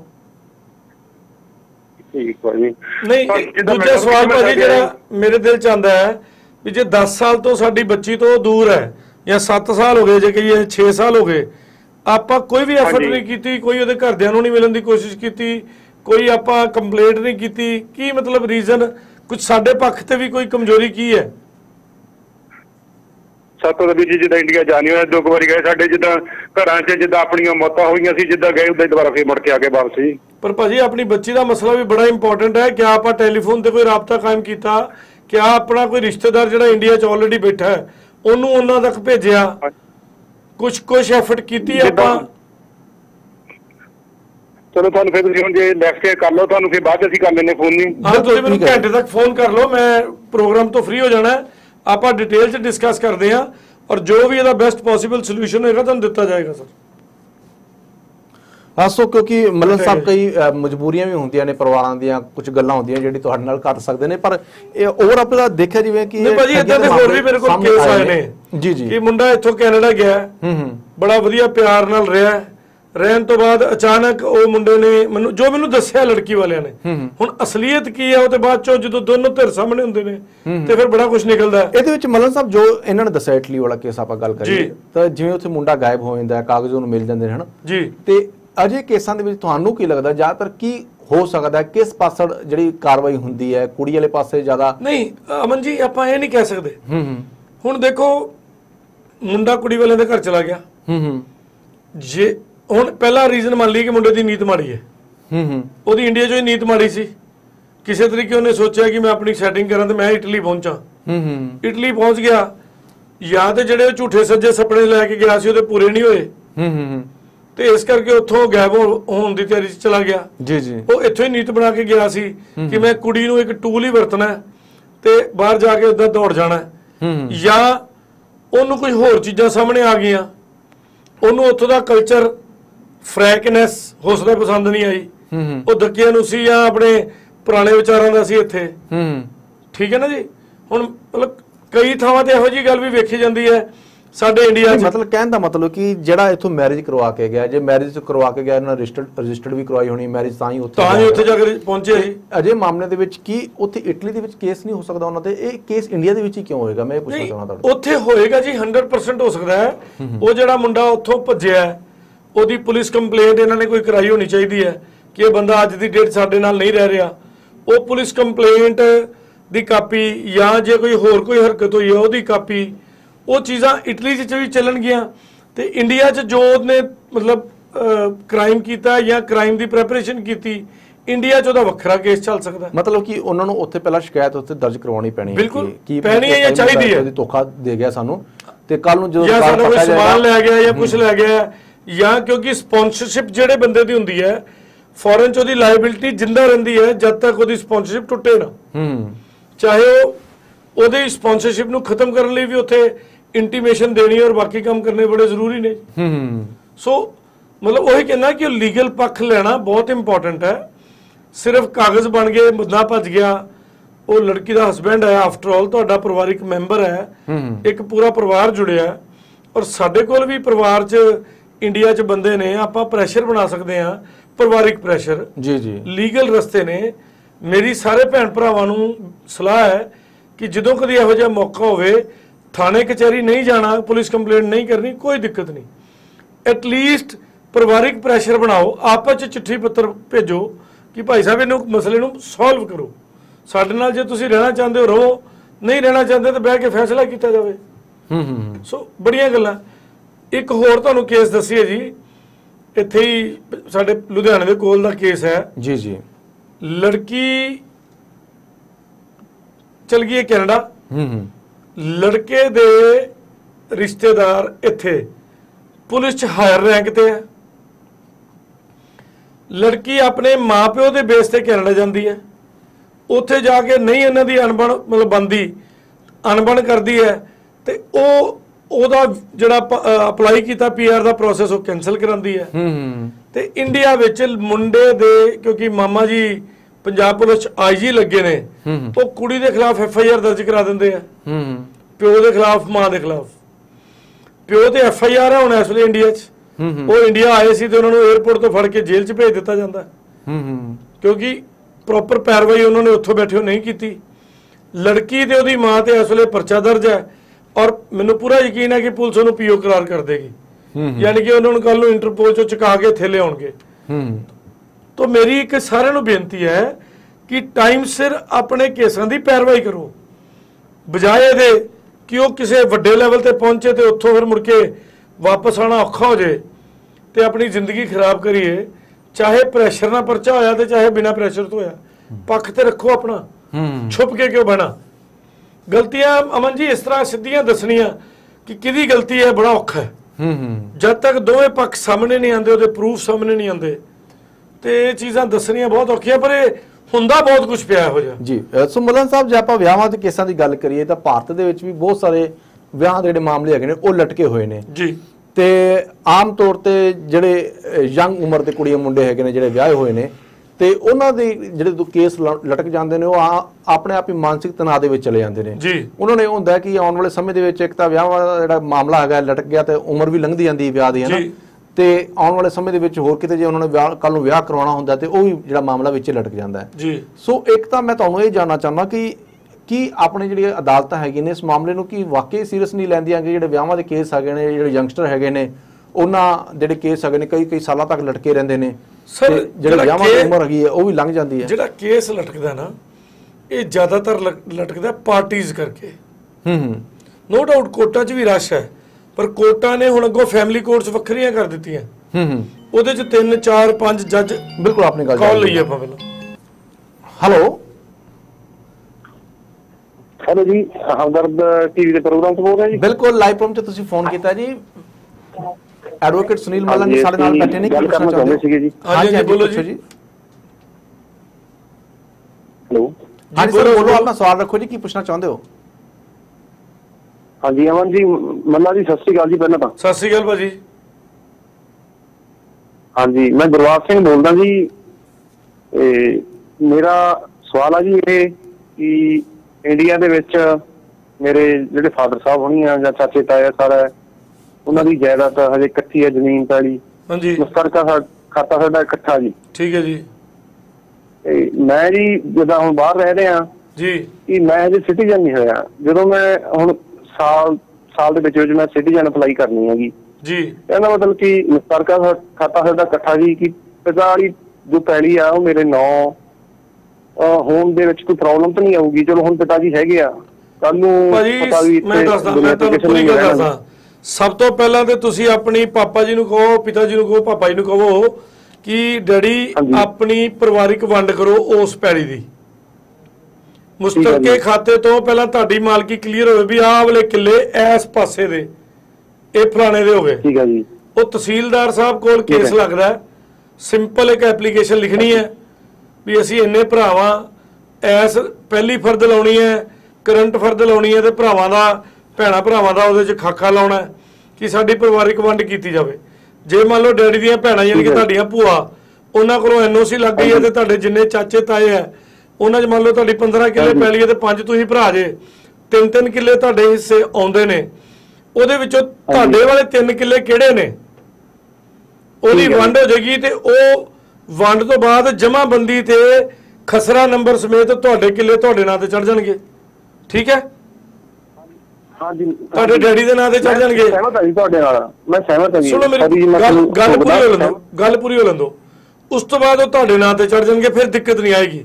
ਪਰ ਜੇ ਤੁਸੀਂ ਇਹ ਜ਼ਮੀਨ ਦੀ ਵੰਡ ਨਾ ਕੀਤੀ ਤੇ ਫਿਰ ਤੁਹਾਡੇ ਚਾਚੇ ਤਾਇਆ ਨਾਲ ਪਹਿਲਾਂ ਪਰਿਵਾਰਿਕ ਵੰਡ ਕਰਕੇ ਅੱਗੇ ਕਰਨਾ ਉਹ ਸਾਰਾ ਔਖਾ ਹੋ ਜਾਏਗਾ। ਹੁਣ ਤੁਸੀਂ ਆਪਣਾ ਸਵਾਲ ਰੱਖੋ। ਠੀਕ ਹੈ ਜੀ। ਮਤਲਬ ਕਿ ਉਹ ਦੁਬਾਰਾ ਜ਼ਰੂਰੀ ਹੈਗੀ ਕਿ ਫਿਰ ਉਸ ਤੋਂ ਬਾਅਦ ਪਿਤਾ ਪੈੜੀ ਮੇਰੇ ਨਾਲ ਹੁਣ ਤਾਂ ਕੋਈ ਪ੍ਰੋਬਲਮ ਨਹੀਂ ਜੇ ਮੈਂ ਸਿਟੀਜ਼ਨ ਵੀ ਹੋ ਜਾਣਾ ਭਾਜੀ ਮੈਂ ਕਹਿੰਦਾ ਤੁਸੀਂ ਤੁਹਾਡੇ ਨਾਂ ਤੇ ਜਦੋਂ ਮਰਜ਼ੀ ਕਰ ਦੇਣਗੇ। ਮੈਂ ਕਹਿੰਦਾ ਅੱਜ ਬਿਨਾ ਵੰਡ ਤੋਂ ਵੀ ਕਰ ਸਕਦੇ ਨੇ। ਵੰਡ ਜੇ ਬਿਨਾ ਵੰਡ ਤੋਂ ਤੁਹਾਡੇ ਨਾਂ ਤੇ ਪੈਲੀ ਹੋ ਵੀ ਜਾਂਦੀ ਹੈ ਤੇ ਤੁਸੀਂ ਕਿਹਦੀ। ਕਿਹਦੇ ਮਾਲਕ ਹੋ ਤੁਸੀਂ ਕਲੀਅਰ ਨਹੀਂ ਕਰ ਪਾਓਗੇ? ਤੇ ਬਿਨਾ ਸ਼ਰਮ ਕੀਤੇ। ਬਿਨਾਂ ਸ਼ਰਮ ਕੀਤਿਆਂ ਆਪਣੇ ਪਰਿਵਾਰ ਨਾਲ ਗੱਲ ਕਰੋ ਕਿ ਆਪਾਂ ਪਿਆਰ ਨਾਲ ਦੱਸੋ ਕਿਹੜੇ ਕਿੱਲੇ ਆਪਸ ਚ ਵੰਡਣੇ ਆ? ਤੇ ਉਹਦੀ ਵੰਡ ਕਰਕੇ ਤਹਿਸੀਲਦਾਰ ਸਾਹਿਬ ਕੋਲੋਂ ਦੋ ਤਰੀਕੇ ਨੇ। ਜਾਂ ਤਾਂ ਤੁਸੀਂ ਜਾਂ ਤਾਂ ਤੁਸੀਂ ਉੱਥੇ ਪਰਿਵਾਰਿਕ ਵੰਡ ਦਾ ਕੇਸ ਲਾ ਲਓ ਜਾਂ ਆਪਣੀ ਪੰਚਾਇਤੀ ਵੰਡ ਕਰਕੇ ਠੀਕ ਹੈ ਜੀ? ਆਪਣੀਆਂ ਬੁਰਜੀਆਂ ਕੱਢ ਕੇ ਉਹ ਪਟਵਾਰੀ ਨੂੰ ਜਾ ਕੇ ਦੇ ਦਿਓ ਵੀ ਆਹ ਵਾਲੇ ਖੇਤ ਮੇਰੇ ਹੋ ਗਿਆ ਮੇਰੇ ਹੋ ਗਿਆ ਮੇਰੇ ਹੋ ਗਏ। ਅਸੀਂ ਆਪਸੀ ਪਰਿਵਾਰਿਕ ਵੰਡ ਕਰ ਲਈ ਹੈ। ਰਜਾਮੰਦੀ ਨਾਲ ਅਸੀਂ ਆਹ ਵਾਲੇ ਆਹ ਵਾਲੇ ਖੇਤ ਲੈ ਲਏ ਆ ਤੇ ਸਾਡੀਆਂ ਜਮਾਬੰਦੀਆਂ ਵੱਖਰੀ ਜਮਾਬੰਦੀ ਸਾਡੇ ਮਾਲਕੀਆਂ ਵੱਖਰੀਆਂ ਕਰਦੇ। ਤੇ ਪਟਵਾਰੀ ਉਹਦੀ ਮਾਲਕੀ ਵੱਖਰੀ ਕਰ ਦੇਗਾ ਜਾਂ ਵੰਡ ਕਰਕੇ ਤਹਿਸੀਲਦਾਰ ਵੰਡ ਕਰਕੇ ਤਹਿਸੀਲਦਾਰ ਸਾਹਿਬ ਨੂੰ ਐਪਲੀਕੇਸ਼ਨ ਦੇ ਦਿਓ। ਇੱਕ ਨਕਸ਼ਾ ਨਵੀਸ ਤੁਸੀਂ ਖੜਨਾ ਹੈ। ਉਹਨੇ ਨਕਸ਼ਾ ਬਣਾ ਕੇ ਕਾਗਜ਼ ਤੇ ਤੇ ਨਾਲ ਉਹ ਨਕਸ਼ਾ ਲਾ ਦਿਓ ਨਾਲ ਆਪਣੀ ਫਰਦ ਲਾ ਦਿਓ। ਤੇ ਕਹਿ ਦਿਓ ਵੀ ਅਸੀਂ ਆਪਣੇ ਪਰਿਵਾਰ ਆ ਅਸੀਂ ਪਰਿਵਾਰ ਦੇ ਮੈਂਬਰ ਆ ਇਹਦੇ ਵਿੱਚੋਂ ਕੁੜੀਆਂ ਨੇ ਆਪਣਾ ਹੱਕ ਸਾਨੂੰ ਦੇ ਦਿੱਤਾ। ਅਸੀਂ ਭਰਾਵਾਂ ਨੇ ਆਪਣਾ ਹੱਕ ਇਦਾਂ ਵੰਡ ਕੇ ਆਹ ਵਾਲਾ ਖਸਰਾ ਨੰਬਰ ਇਹਨੂੰ ਆਹ ਖਸਰੇ 'ਚ ਇੰਨੇ ਕਿੱਲੇ ਜਾਂ ਇੰਨੇ ਕਨਾਲਾ ਇਹਨੂੰ ਇੰਨੇ ਖੇਤ ਇਹਨੂੰ ਦੇ ਦਿੱਤੇ ਗਏ ਨੇ ਕਿਰਪਾ ਕਰਕੇ ਸਾਡੀ ਨਵੀਂ ਫਰਦ ਮਾਲਕੀ ਸਮੇਤ ਸਾਨੂੰ ਦੇ ਦਿੱਤੀ ਜਾਵੇ। ਤੇ ਉਹ 10-15 ਦਿਨ ਦਾ ਜਾਂ ਮਹੀਨੇ ਦਾ ਕੰਮ ਹੈ। 10 ਰੁਪਏ ਸਰਕਾਰੀ ਕੋਰਟ ਫੀਸ ਲੱਗਣੀ ਹੈ। 60 ਰੁਪਏ ਕੋਰ ਲੱਗਣੇ ਹੈ, 100 ਰੁਪਏ ਜੇ ਤੁਹਾਡੀ ਵੰਡ ਹੋ ਕੇ ਤੁਹਾਡੇ ਘਰ ਆ ਜਾਣੀ। ਕੋਈ ਵਕੀਲ ਕਰੋਗੇ ਤੇ ਉਹ ਅਗਲਾ ਆਪਣੀ ਫੀਸ ਲਊਗਾ। ਜੀ ਗੁਰਬਖਸ਼ ਸਿੰਘ ਪੁੱਛਣਾ ਚਾਹੁੰਦੇ ਕੋਈ ਸਵਾਲ ਹੋਰ ਜੀ? ਹਾਂਜੀ ਮਤਲਬ ਤੁਹਾਡੇ ਹੈਲੋ। ਗੁਰਬਖਸ਼ ਜੀ ਤੁਹਾਡੀ ਆਵਾਜ਼ ਹਾਂਜੀ। ਜੀ ਦੁਬਾਰਾ ਬੋਲੋ ਭਾਜੀ। ਹਾਂਜੀ ਮਤਲਬ ਤੁਹਾਡੇ ਕਹਿਣ ਦਾ ਮਤਲਬ ਇਹ ਹੈ ਕਿ ਜੇ ਸਾਡੀ ਪਰਿਵਾਰਕ ਵੰਡ ਸਹੀ ਤਰੀਕੇ ਨਾਲ ਹੋ ਜਾਂਦੀ ਆ ਉਸ ਤੋਂ ਬਾਅਦ ਜੇ ਮੈਂ ਸਿਟੀਜ਼ਨ ਵੀ ਹੋਵਾਂ ਹੋਰ ਕੰਟਰੀ ਦਾ ਤਾਂ ਮੈਨੂੰ ਕੋਈ ਦਿੱਕਤ ਨਹੀਂ ਆਊਗੀ ਬਾਪ ਵਾਲੀ ਪੈਲੀ ਦੇ ਮੇਰੇ ਨੌਚਾਂ ਚ ਬਿਲਕੁਲ ਜੀ ਤੁਸੀਂ ਸਿਟੀਜ਼ਨ ਹੋ ਜਾਓ ਤੁਸੀਂ ਜੋ ਮਰਜ਼ੀ ਕਰੋ ਤੁਹਾਡੇ ਨਾਂ ਤੇ ਉਹ ਪੈਲੀ ਬੋਲੂਗੀ ਤੁਹਾਡੇ ਨਾਂ ਤੇ ਉਹਦਾ ਕਬਜ਼ਾ ਸ਼ੋ ਹੋਏਗਾ ਫਿਰ ਕੱਲ ਨੂੰ ਠੀਕ ਹੈ ਜੀ? ਔਰ ਫਰਦ ਤੁਹਾਡੇ ਨਾਂ ਤੇ ਚੜ ਜਾਏਗੀ ਇੱਕ ਕੰਮ ਹੋਰ ਕਰਨਾ ਮੇਰੀ ਬੇਨਤੀ ਹੈ ਤੁਹਾਡੇ ਪਾਪਾ ਜੀ ਦੀ ਉਮਰ ਲੰਬੀ ਕਰੇ ਪ੍ਰਮਾਤਮਾ ਉਹਨਾਂ ਕੋਲੋਂ ਇੱਕ ਵਸੀਅਤ ਜ਼ਰੂਰ ਲਿਖਾਉਣੀ ਹੈ। ਉਹਨਾਂ ਦੀ ਮਰਜ਼ੀ ਦੀ। ਠੀਕ ਹੈ ਜੀ। ਉਹਨਾਂ ਨੂੰ ਕਹਿੰਦਾ ਡੈਡੀ ਅਸੀਂ ਇੰਨੇ ਭੈਣ ਭਰਾਵਾਂ ਕਿਉਂਕਿ ਤੁਹਾਡੇ ਪਾਪਾ ਤੋਂ ਬਾਅਦ ਤੁਹਾਡੇ ਮੰਮੀ ਹੱਕਦਾਰ ਨੇ ਬਰਾਬਰ ਦੇ। ਤਾਂ ਅਸੀਂ ਸਾਰੇ ਭੈਣ ਭਰਾ ਬਰਾਬਰ ਦੇ ਹੱਕਦਾਰ ਕੱਲ- ਮੈਂ ਕੱਲਾ ਭਰਾ ਜੀ ਮੇਰੀ ਭੈਣ ਆ ਉਹ ਵੀ ਸਹਿਮਤ ਆ ਜੀ। ਭਾਜੀ ਫਿਰ ਵਸੀਅਤ ਲਿਖਾਓ। ਵਸੀਅਤ ਤੇ ਉਹਨਾਂ ਕੋਲ ਭਾਵੇਂ ਕੱਲ ਸਵੇਰੇ ਲਿਖਾਓ ਕਿ ਮੇਰੇ ਟੋਟਲ ਮੁਸ਼ਤਰਕਾ ਪੈਲੀ ਮੇਰੇ ਸਾਡੇ ਖਾਤੇ 'ਚ ਇੰਨੀ ਆਉਂਦੀ ਹੈ ਉਹਦੇ 'ਚੋਂ ਮੇਰੇ ਹਿੱਸੇ ਦੀ ਇੰਨੀ ਹੈ ਤੇ ਉਹਦਾ ਮੇਰਾ ਮੁੰਡਾ ਇੰਨੇ ਇੰਨੇ ਦਾ ਮੇਰਾ ਮੁੰਡਾ ਮਾਲਕ ਹੈ ਤੇ ਇੰਨੇ ਦੀ ਮੇਰੇ ਮੇਰੇ ਤੋਂ ਬਾਅਦ ਮੇਰੀ ਕੁੜੀ ਮਾਲਕ ਹੈ ਜਾਂ ਸਾਰੀ ਪੈਲੀ ਦਾ ਮੇਰਾ ਮੁੰਡਾ ਮਾਲਕ ਹੈ। ਉਹ ਵਸੀਅਤ ਉਹਨਾਂ ਦੇ ਜਿੰਦਿਆਂ ਜੀ ਲਿਖਾਓ ਠੀਕ ਹੈ ਜੀ? ਉਹਨੂੰ ਰਜਿਸਟਰ ਕਰੋ ਪ੍ਰੋਪਰ ਤਰੀਕੇ ਨਾਲ। ਚੰਗੇ ਵਕੀਲ ਦੀ ਵਿੱਚ ਗਵਾਹੀ ਰੱਖੋ। ਆਪਣੇ ਮੰਮੀ ਦੇ ਸਾਈਨ ਕਰਾਓ ਆਪਣਾ ਆਈਡੀ ਪ੍ਰੂਫ ਲਵਾਓ। ਵਧੀਆ ਤਰੀਕੇ ਦੀ ਵਸੀਅਤ ਲਿਖ ਕੇ ਉਹਨੂੰ ਆਪਣੀ ਪ੍ਰਾਪਰਟੀ ਨੂੰ ਸਿੱਧਾ ਕਰੋ। ਕਿਉਂਕਿ ਜੇ ਵਸੀਅਤ ਵੀ ਨਾ ਨਾ ਹੋਈ ਤੇ ਆ ਤਾਂ ਵੀ ਤੁਹਾਨੂੰ ਆਪਣੀ ਪ੍ਰਾਪਰਟੀ ਤੁਹਾਡੇ ਚਾਚੇ ਤਾਇਆ ਦੀ ਸਹਿਮਤੀ ਦੇ ਬਾਵਜੂਦ ਵੀ ਲੈਣ ਲੱਗਿਆ ਬੜੀ ਦਿੱਕਤ ਆਏਗੀ ਸਮਝ ਗਈ ਬਹੁਤ ਇੰਪੋਰਟੈਂਟ ਗੱਲ ਹੈ ਜੀ ਸਮਝ ਗਈ। ਠੀਕ ਹੈ ਸ਼ੁਕਰੀਆ ਗੁਰਬਖਸ਼ ਸਿੰਘ ਜੀ ਗੱਲ ਕਰਨ ਲਈ ਤੁਹਾਡਾ ਕੋਈ ਦਿੱਕਤ ਆਵੇ ਤੇ ਮੇਰੇ ਫੋਨ ਤੇ ਫਿਰ ਲੇਟਰ ਔਨ ਗੱਲ ਕਰ ਲਿਓ ਭਾਜੀ ਪ੍ਰੋਗਰਾਮ ਤੋਂ ਬਾਅਦ ਜੀ ਹਾਂ ਸੋ ਮਲਨ ਸਾਹਿਬ ਇਹਨਾਂ ਦੇ ਸਵਾਲ ਤੋਂ ਇੱਕ ਹੋਰ ਸਵਾਲ ਵੀ ਨਿਕਲ ਕੇ ਆਉਂਦਾ। ਹੈ ਕਿਉਂਕਿ ਮੇਰੇ ਵੀ ਧਿਆਨ ਚ ਆਉਂਦਾ ਇੱਕ ਕੇਸ ਸੀਗਾ ਇਹਦਾ ਮੇਰੇ ਦੋਸਤ ਦਾ ਜੀ ਜੀ ਜੀ ਤੇ ਉਹਨਾਂ ਨੇ ਵੀ ਮਤਲਬ ਕਿ ਜਦੋਂ ਉਹਨਾਂ ਦੇ ਪਿਤਾ ਦੀ ਡੈਥ ਹੋਈ ਤੇ ਉਹ ਲਿਖ ਕੇ ਨਹੀਂ ਗਏ ਸੀ ਕੋਠੀ ਕਿਹਦੇ ਨਾਮ ਹੈਗੀ ਹੈ। ਜੀ। ਤੇ ਉਹ ਮੁੰਡਾ ਜਦੋਂ ਕੋਠੀ ਦੇ ਵਿੱਚ ਬਹਿ ਗਿਆ ਤੇ ਜਿਹੜੀ ਉਹਦੀ ਭੈਣ ਸੀਗੀ। ਤੇ ਮਤਲਬ ਕਿ ਉਸ ਭੈਣ ਦੇ ਜਿਹੜਾ ਪਤੀ ਸੀਗਾ ਉਹ ਜੀਜੇ ਨਹੀਂ ਮਤਲਬ ਕਿ ਕੇਸ ਇਹ ਕਿਹਾ ਕਿ ਭਾਈ ਸਾਡਾ ਵੀ ਅੱਧਾ ਹਿੱਸਾ ਬਣਦਾ ਹੈਗਾ ਜੀ। ਉਹ ਬਾਅਦ ਵਿੱਚ ਕਹਿੰਦਾ ਨਹੀਂ ਜੀ ਮੇਰੇ ਡੈਡੀ ਨੇ ਕਿਹਾ ਸੀ ਮੇਰੀ ਭੈਣ ਵੀ ਸਹਿਮਤ ਹੈਗੀ ਹੈ। ਤੇ ਬਾਅਦ ਚ ਭੈਣ ਵੀ ਕਹਿੰਦੀ ਨਹੀਂ ਜੀ ਸਾਨੂੰ ਤਾਂ ਅੱਧਾ ਹਿੱਸਾ ਚਾਹੀਦਾ ਹੈਗਾ। ਜਦੋਂ ਮਾਪੇ ਗੁਜ਼ਰ ਗਏ ਨਾ। ਇਹ ਮੁਸ਼ਕਲਾਂ ਬਾਅਦ ਦੇ ਵਿੱਚ ਖੜੀਆਂ ਹੋ ਜਾਂਦੀਆਂ ਨੇ। ਮਤਲਬ ਕਿ ਇਹਨਾਂ ਦੇ ਇਹ- ਇਹ ਮੁਸ਼ਕਲਾਂ ਨਾ ਖੜੀਆਂ ਹੋਣ ਉਹਨਾਂ ਲਈ ਵਸੀਅਤ ਜ਼ਰੂਰੀ ਹੈ ਵਸੀਅਤ ਬਹੁਤ ਇੰਪੋਰਟੈਂਟ ਡਾਕੂਮੈਂਟ ਹੈ ਔਰ ਵਸੀਅਤ ਇੱਕ ਐਸਾ ਡਾਕੂਮੈਂਟ ਹੈ ਜਿਹਨੂੰ ਤੁਸੀਂ ਚਾਰ ਵਾਰੀ ਲਿਖ ਲਓ ਕੋਈ ਦਿੱਕਤ ਨਹੀਂ ਪਰ ਜਦੋਂ ਪਹਿਲੇ ਤੋਂ ਬਾਅਦ ਦੂਜੀ ਲਿਖੋ ਤੇ ਪਹਿਲੀ ਦਾ ਜ਼ਿਕਰ ਕਰੋ ਕਿ ਪਹਿਲੀ ਵਸੀਅਤ ਮੈਂ ਇੰਨੀ ਤਰੀਕ ਨੂੰ ਲਿਖੀ ਸੀ ਆ ਉਹਦਾ ਮਜਮੂਨ ਸੀ ਉਹਨੂੰ ਮੈਂ ਕੈਨਸਲ ਕਰਦਾ ਜਾਂ ਉਹਦੇ ਵਿੱਚ ਅਗਲੀ ਅਮੈਂਡਮੈਂਟ ਇਹ ਕਰਦਾ। ਔਰ ਜਿੱਥੋਂ ਤੱਕ ਭਾਜੀ ਭੈਣਾਂ ਦਾ ਸਵਾਲ ਹੈ ਮੈਂ ਸਭ ਨੂੰ ਇੱਕ ਗੱਲ ਕਹਿਣਾ ਕਹਿਣਾ ਦੁਬਾਰਾ ਭੈਣਾਂ ਨੂੰ ਆਪਣਾ ਹੱਕ ਜ਼ਰੂਰ ਯਾਦ ਹੈ ਪਰ ਆਪਣੇ ਫਰਜ਼ ਯਾਦ ਨਹੀਂ ਉਸ ਬਜ਼ੁਰਗ ਮਾਂ-ਬਾਪ ਦੀ ਸੇਵਾ ਕਰਨ ਨਹੀਂ ਆਉਣਗੀਆਂ ਨਾ ਉਹਦੇ 'ਚ ਕੰਟਰੀਬਿਊਸ਼ਨ ਕਰਨਗੀਆਂ ਤੇ ਜਿਹੜੀਆਂ ਭੈਣਾਂ ਜ਼ਿਆਦਾ ਲਾਲਚੀ ਹੋ ਜਾਣ ਉਹਨਾਂ ਨੂੰ ਕਿਸੇ ਵਕੀਲ ਕੋਲ ਨੋਟਿਸ ਦਵਾ ਕੇ ਕੰਟਰੀਬਿਊਸ਼ਨ ਦਾ ਵੀ ਪਵਾ ਦਿਓ ਕਿ ਪਾਪਾ ਜੀ ਦੀ ਬਿਮਾਰੀ ਤੇ ਜਾਂ ਮਾਪਿਓ ਦੀ ਬਿਮਾਰੀ ਤੇ ਆ ਖਰਚਾ ਹੋ ਰਿਹਾ। ਤੇ ਇਹਦੇ 'ਚ ਇੰਨੇ ਪੈਸੇ ਤੂੰ ਵੀ ਦੇ ਜਾ ਕਿਉਂਕਿ ਵਿਆਹ ਦੇ ਮੁੰਡੇ ਦਾ ਵੀ ਕੀਤਾ ਤੇ ਕੁੜੀ ਦਾ ਵੀ ਕੀਤਾ। ਨਹੀਂ ਪਰ ਮੱਲਨ ਸਾਹਿਬ ਇਹਦੇ ਮਾਮਲੇ 'ਚ ਜਿਹੜੇ ਜ਼ਿਆਦਾਤਰ ਕੇਸ ਆਉਂਦੇ ਨੇ ਕਿ ਵਾਰੀ ਮੁੰਡਾ ਜਿਹੜਾ ਹੁੰਦਾ ਹੈ, ਉਹ ਮਾਪੇ ਨੂੰ ਸਾਂਭਦਾ ਹੀ ਨਹੀਂਗਾ ਮੁੰਡੇ ਦੀ ਅੱਖ ਜਿਹੜੀ ਹੁੰਦੀ ਹੈ ਉਹ ਮਾਪੇ ਦੀ ਜਾਇਦਾਦ ਤੇ ਹੁੰਦੀ ਕੌਣ ਲੈ ਲਈ ਆਪਾਂ ਜੀ? ਕਈ ਵਾਰੀ ਕੁੜੀ ਸਾਂਭਦੀ ਬੜਾ ਕੁਛ ਹੈ ਜੀ, ਬੜਾ ਕੁਛ ਹੈ। ਹੈਲੋ? ਸਤਿ ਸ਼੍ਰੀ ਅਕਾਲ ਜੀ। ਕੌਣ ਬੋਲ ਰਹੇ ਕਿੱਥੋਂ ਬੋਲ ਰਹੇ ਜੀ? ਹਾਂਜੀ ਸਤਿ ਸ਼੍ਰੀ ਅਕਾਲ ਜੀ ਬੇਨਤੀ ਜੀ ਮੈਂ ਇੱਕ ਬੇਨਤੀ ਕਰ ਰਿਹਾ ਤੁਹਾਡਾ ਮੈਂ ਪ੍ਰੋਗਰਾਮ ਦੇਖ ਰਿਹਾ ਲਾਈਵ ਵਿੱਚ ਚੱਲ ਰਿਹਾ ਜੀ ਸੁਣ ਰਿਹਾ ਜੀ। ਹਾਂਜੀ ਹਾਂਜੀ। ਮੇਰਾ ਬੇਟਾ ਇਟਲੀ ਦਾ ਹਾਂਜੀ। ਮੇਰਾ ਬੇਟਾ ਇਟਲੀ ਆ 2009 ਚ ਵਿਆਹ ਹੋਇਆ ਸੀ। ਠੀਕ ਹੈ ਜੀ। ਤੇ 2015 ਤੱਕ ਉਹਦੇ ਮਤਲਬ 2015 ਤੱਕ ਉਹਦੇ ਹਰ ਸਾਲ ਵਿੱਚ ਦੋ ਵੇ ਦੋ ਮਹੀਨੇ ਆਉਂਦਾ ਰਿਹਾ। ਅੱਛਾ ਜੀ। ਇਟਲੀ ਤੋਂ ਆਉਂਦਾ ਰਿਹਾ। ਇਟਲੀ ਤੋਂ ਆਉਣ ਦੇ ਬਾਵਜੂਦ ਉਹ ਤੇ ਪੈਸਾ ਸਾਰਾ ਹੀ ਉਹਦੇ ਘਰ ਵਾਲੀ ਮੰਗਦੇ ਲਿਜਾਂਦਾ ਰਿਹਾ। ਮਤਲਬ ਅਸੀਂ ਅੱਜ ਤੱਕ ਆਪਣੇ ਮੀਆਂ ਬੀਬੀ ਨੇ ਅਸੀਂ ਉਹਦੇ ਮਾਂ-ਬਾਪ ਨੇ ਅੱਜ ਤੱਕ ਕੋਈ ਪੈਸਾ ਨਹੀਂ ਲਿਆ ਕੋਈ ਕੁਝ ਨਹੀਂ ਲਿਆ ਖਰਚਾ ਅੱਜ ਤੱਕ ਨਹੀਂ ਦਿੱਤਾ ਨਾ ਸਾਨੂੰ ਲਿਆ। ਜੀ। ਤੇ ਅਖੀਰ ਸਾਡੇ ਤੋਂ ਸਾਨੂੰ ਤੰਗ ਲੱਗਦਾ ਕਰਨ ਮੈਂ ਬੇਦਖਲ ਕਰ ਦਿੱਤੇ ਦੋਏ ਬੇਟਾ ਤੇ ਬੇਟੀ ਨੌ। ਠੀਕ ਹੈ ਜੀ। ਤੇ ਉਹਨਾਂ ਨੇ ਉਹਨਾਂ ਨੇ 5 ਸਾਲ 6 ਸਾਲ ਤੋਂ ਬਾਅਦ ਵਿੱਚ ਅਹ, 2016 17 ਵਿੱਚ ਕੇਸ ਕਰ ਦਿੱਤਾ। ਕਿਹਦੇ ਤੇ ਜੀ? ਐਪਲੀਕੇਸ਼ਨ ਦਿੱਤੀ ਐਸਐਸਪੀ ਨੂੰ। ਕੀ? ਕਿ ਮੇਰਾ ਘਰ ਵਾਲਾ ਮੈਨੂੰ ਲੈ ਕੇ ਗਿਆ ਮੇਰੇ ਮਾਪੇ ਮੈਨੂੰ ਮੇਰੇ ਸੱਸ ਸਹੁਰਾ ਮੈਨੂੰ ਕੁੱਟਦੇ ਸੀ ਮੇਰੀਆਂ ਨਨਾਨਾ ਮੇਰਾ ਦੇਰ ਜੋ ਜੋ ਬਦ ਸਲੂਕ ਦੇ ਦਿੱਤੇ ਬਹੁਤ ਕੁਝ ਹੂੰ। ਨੂੰ ਨੇ ਦਿੱਤੇ ਕਰਦੇ ਹਾਂਜੀ ਸਾਡੇ ਐਸਐਸਪੀ ਨਵਾਂ ਸ਼ਹਿਰ ਜਾਂਦੀ ਰਹੀ ਤੇ ਸਾਡੀ ਕੰਪਲੇਂਟ ਆ ਤੇ ਉਹਦੇ ਵਿੱਚ ਸਾਂਝ ਕੇਂਦਰ ਵਿੱਚ ਸਰੇਆਮ ਗੱਲਾਂ ਹੁੰਦੀਆਂ ਰਹੀਆਂ। ਜਿਹਦੇ ਵਿੱਚ ਜੋ ਅਸੀਂ ਬੋਲਦੇ ਸੀ ਉਹਦੇ ਵਿੱਚ ਕੋਈ ਜਵਾਬ ਨਹੀਂ ਸੀ ਹੁੰਦਾ ਉਹਨਾਂ ਨੂੰ। ਹੂੰ। ਸਿਰਫ ਉਹ ਜਨਾਨੀ ਮੈਨੂੰ ਲੈ ਕੇ ਗਿਆ ਮੇਰੀ ਸ਼ਾਨ ਦੇ ਖਿਲਾਫ ਜੇ ਉਹ ਬਹੁਤ ਕੁਝ ਬੋਲਿਆ ਜਦੋਂ ਕਿ ਅੱਜ ਤੱਕ ਉਹ ਅਸੀਂ ਰੋਟੀ ਤੱਕ ਬਣਾ ਕੇ ਦਿੰਦੇ ਰਹੇ ਸਭ ਉਹਦੀ ਹਰ ਕੋਈ ਫ਼ਰਕ ਨਹੀਂ ਪਿਆ।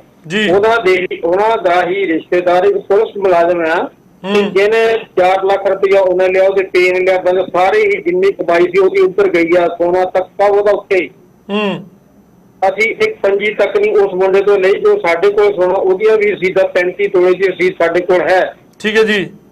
ਜਦੋਂ ਸਾਂਝ ਕੇਂਦਰ ਵਿੱਚ ਉੱਥੇ ਕੰਪਲੇਂਟ ਵਿੱਚ ਕੀਤਾ ਉਹਦੇ ਵਿੱਚ ਉਸਨੇ ਜਦ ਧਾਨ ਹੋਗਾ ਤਾਂ ਸਭ ਕੁਝ ਹੋਗਾ ਤਾਂ ਉਹ ਕਹਿੰਦੀ ਕਿ ਮੈਂ ਇੱਥੋਂ ਮੈਂ ਇਸ ਅਦਾਲਤ ਵਿੱਚ ਲੈ ਗਈ ਹਾਂ। ਹੂੰ। ਜੋ ਫੈਸਲਾ ਕਰੂਗੀ ਅਦਾਲਤ ਮੈਨੂੰ ਮਨਜ਼ੂਰ ਹੈ। ਪਾਪਾ ਜੀ ਤੁਸੀਂ ਉਮਰ ਕਿੰਨੀ ਤੁਹਾਡੀ?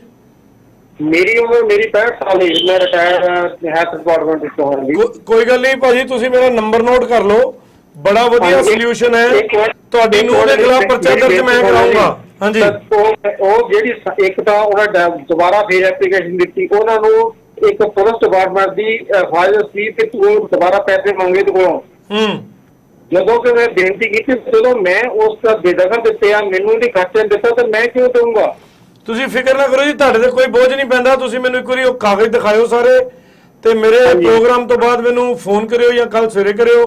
ਤੁਹਾਨੂੰ ਮੈਂ ਇੱਕ ਵਾਰੀ ਕਾਗਜ਼ ਪੜਾ ਦਿਓ ਫਿਰ ਮੈਂ ਤੁਹਾਨੂੰ ਸਭ ਕੁਝ ਦੱਸ ਦੂੰਗਾ ਤੁਹਾਡੇ ਫੇਵਰ 'ਚ ਮਾਮਲਾ ਜਾਏਗਾ। ਸੀਨੀਅਰ ਸਿਟੀਜ਼ਨ ਐਕਟ ਮੁਤਾਬਕ ਤੁਸੀਂ ਆਪਣੀ ਨੂੰਹ ਕੋਲੋਂ ਆਪਣੇ ਮੁੰਡੇ ਕੋਲੋਂ ਆਪਣਾ ਖਰਚਾ ਮੰਗ ਸਕਦੇ ਹੋ।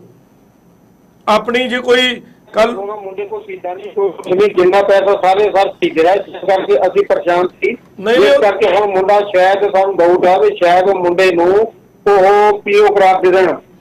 ਨਹੀਂ ਕੋਈ ਗੱਲ ਨਹੀਂ ਜੀ ਇੱਕ ਵਾਰੀ ਮੇਰੇ ਨਾਲ ਤੁਸੀਂ ਮਿਲ ਲਓ ਰਾਬਤਾ ਕਾਇਮ ਕਰੋ।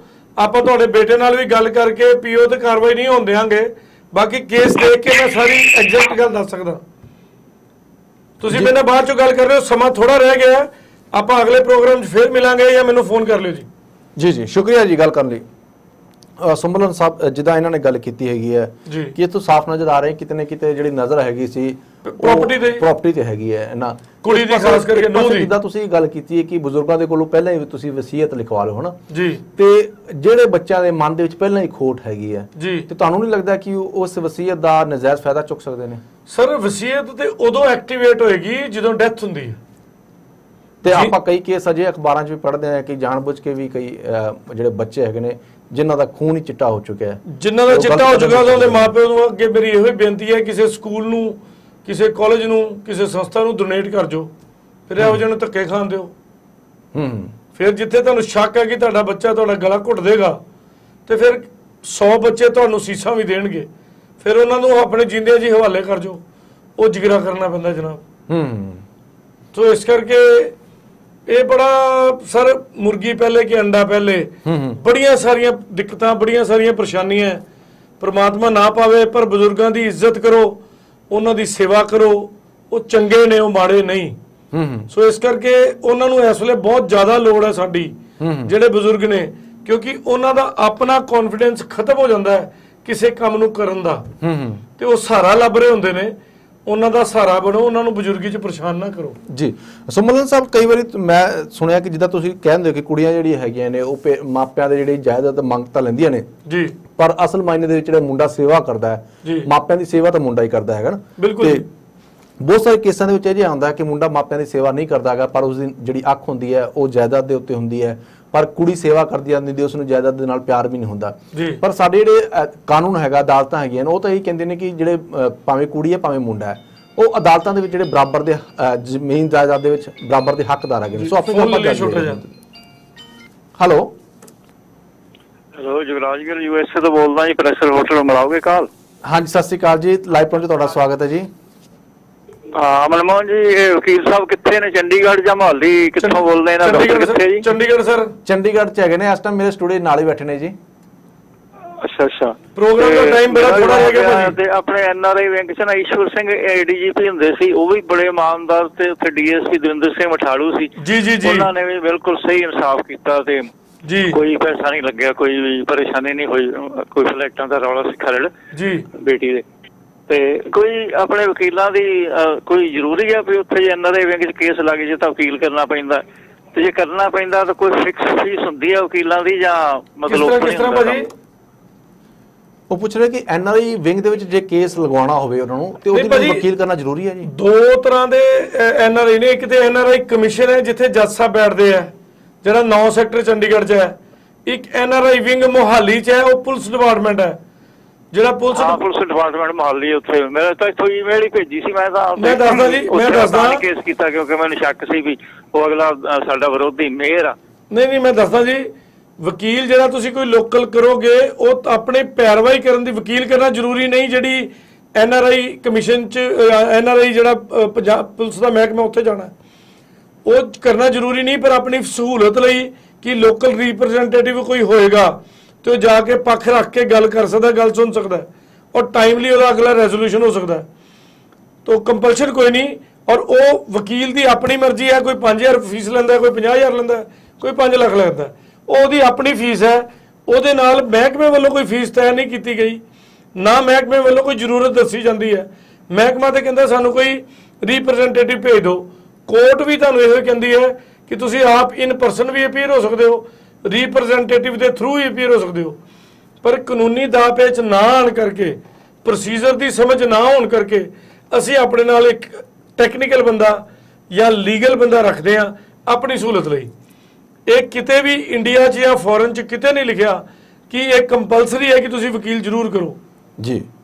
ਸੋ ਸਰ ਪੁੱਛਣਾ ਚਾਹੁੰਦੇ ਕੁਝ ਹੋਰ ਜੀ? ਆਵਾਜ਼ ਕੱਟੀ ਕੀ। ਲੱਗਦਾ ਜੀ? ਸੋ ਮਲਨ ਸਾਹਿਬ ਕਿਉਂਕਿ ਮੈਨੂੰ ਲੱਗਦਾ ਤੁਸੀਂ ਇਹਨਾਂ ਦਾ ਜਵਾਬ ਦੇ ਦਿੱਤਾ ਹੈਗਾ ਤੇ ਸਮਾਂ ਹੁਣ ਆਪਾਂ ਨੂੰ ਇਜਾਜ਼ਤ ਨਹੀਂ ਦੇ ਰਿਹਾ। ਜੀ। ਤੇ ਹਾਲੇ ਗੱਲਾਂ ਬਾਤਾਂ ਹੋਰ ਵੀ ਹੋਣੀਆਂ ਸੀਗੀਆਂ। ਜੀ। ਸੋ ਤੁਹਾਡਾ ਬਹੁਤ ਬਹੁਤ ਸ਼ੁਕਰੀਆ ਤੁਸੀਂ ਕੀਮਤੀ ਸਮਾਂ ਕੱਢ ਕੇ ਆਏ ਤੇ ਸਾਡੇ ਦਰਸ਼ਕਾਂ ਨੂੰ ਬਹੁਤ ਹੀ ਵਡਮੁੱਲੀ ਜਾਣਕਾਰੀ ਨਹੀਂ ਜੀ ਸਾਰੇ ਦਰਸ਼ਕ ਬੜਾ ਪਿਆਰ ਦਿੰਦੇ ਨੇ। ਮੈਨੂੰ ਪਰਸਨਲੀ ਵੀ ਫੋਨ ਕਰਦੇ ਨੇ ਤੇ ਮੇਰੇ ਬਜ਼ੁਰਗ ਕਈ ਮੇਰਾ ਇੰਤਜ਼ਾਰ ਕਰਦੇ ਨੇ ਕਿ ਉਹਨਾਂ ਦਾ ਪ੍ਰੋਗਰਾਮ ਆਉਣਾ ਤੇ ਅਸੀਂ ਦੇਖਣਾ। ਸੋ ਮੈਂ ਫੇਰ ਕਵਾਂਗਾ ਵੀ ਸੁਖੀ ਵਸੋ ਠੰਡੀਆਂ ਹਵਾਵਾਂ ਤੁਹਾਡੇ ਕੋਲ ਨੇ ਨਿੱਗੀਆਂ ਸਾਡੇ ਕੋਲ ਨੇ। ਥੋੜੀਆਂ ਜਿਹੀਆਂ ਸਾਨੂੰ ਠੰਡੀਆਂ ਭੇਜ ਦਿਆ ਕਰੋ। ਥੋੜ੍ਹੀਆਂ ਜਿਹੀਆਂ ਨਿੱਗੀਆਂ ਸਾਡੇ ਕੋਲ ਲੈ ਜਾਇਆ ਕਰੋ। ਤੇ ਯਾਦ ਕਰਦੇ ਰਹੋ ਤੁਹਾਡੇ ਵਤਨ ਦੀ ਮਿੱਟੀ ਤੁਹਾਨੂੰ ਵੀ ਯਾਦ ਕਰਦੀ ਹੈ। ਤੇ ਆਉਂਦੇ ਜਾਂਦੇ ਰਹੋ ਸਾਨੂੰ ਮਿਲਦੇ ਗਿਲਦੇ ਰਹੋ। ਸੁਖੀ ਵਸੋ ਤੰਦਰੁਸਤ ਰਹੋ ਸਾਡੀਆਂ ਇਹੋ ਦੁਆਵਾਂ ਤੁਹਾਡੇ ਨਾਲ ਨੇ ਜੀ। ਜੀ।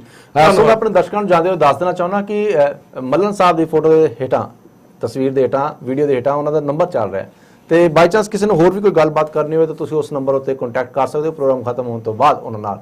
ਸੋ ਸਮਾਂ ਇਜਾਜ਼ਤ ਨਹੀਂ ਦੇ ਰਿਹਾ ਤੁਸੀਂ ਦੇਖਦੇ ਰਹੋ ਹਮਦਰ ਟੀਵੀ। ਸਤਿ ਸ੍ਰੀ ਅਕਾਲ। ਸਤਿ ਸ੍ਰੀ ਅਕਾਲ।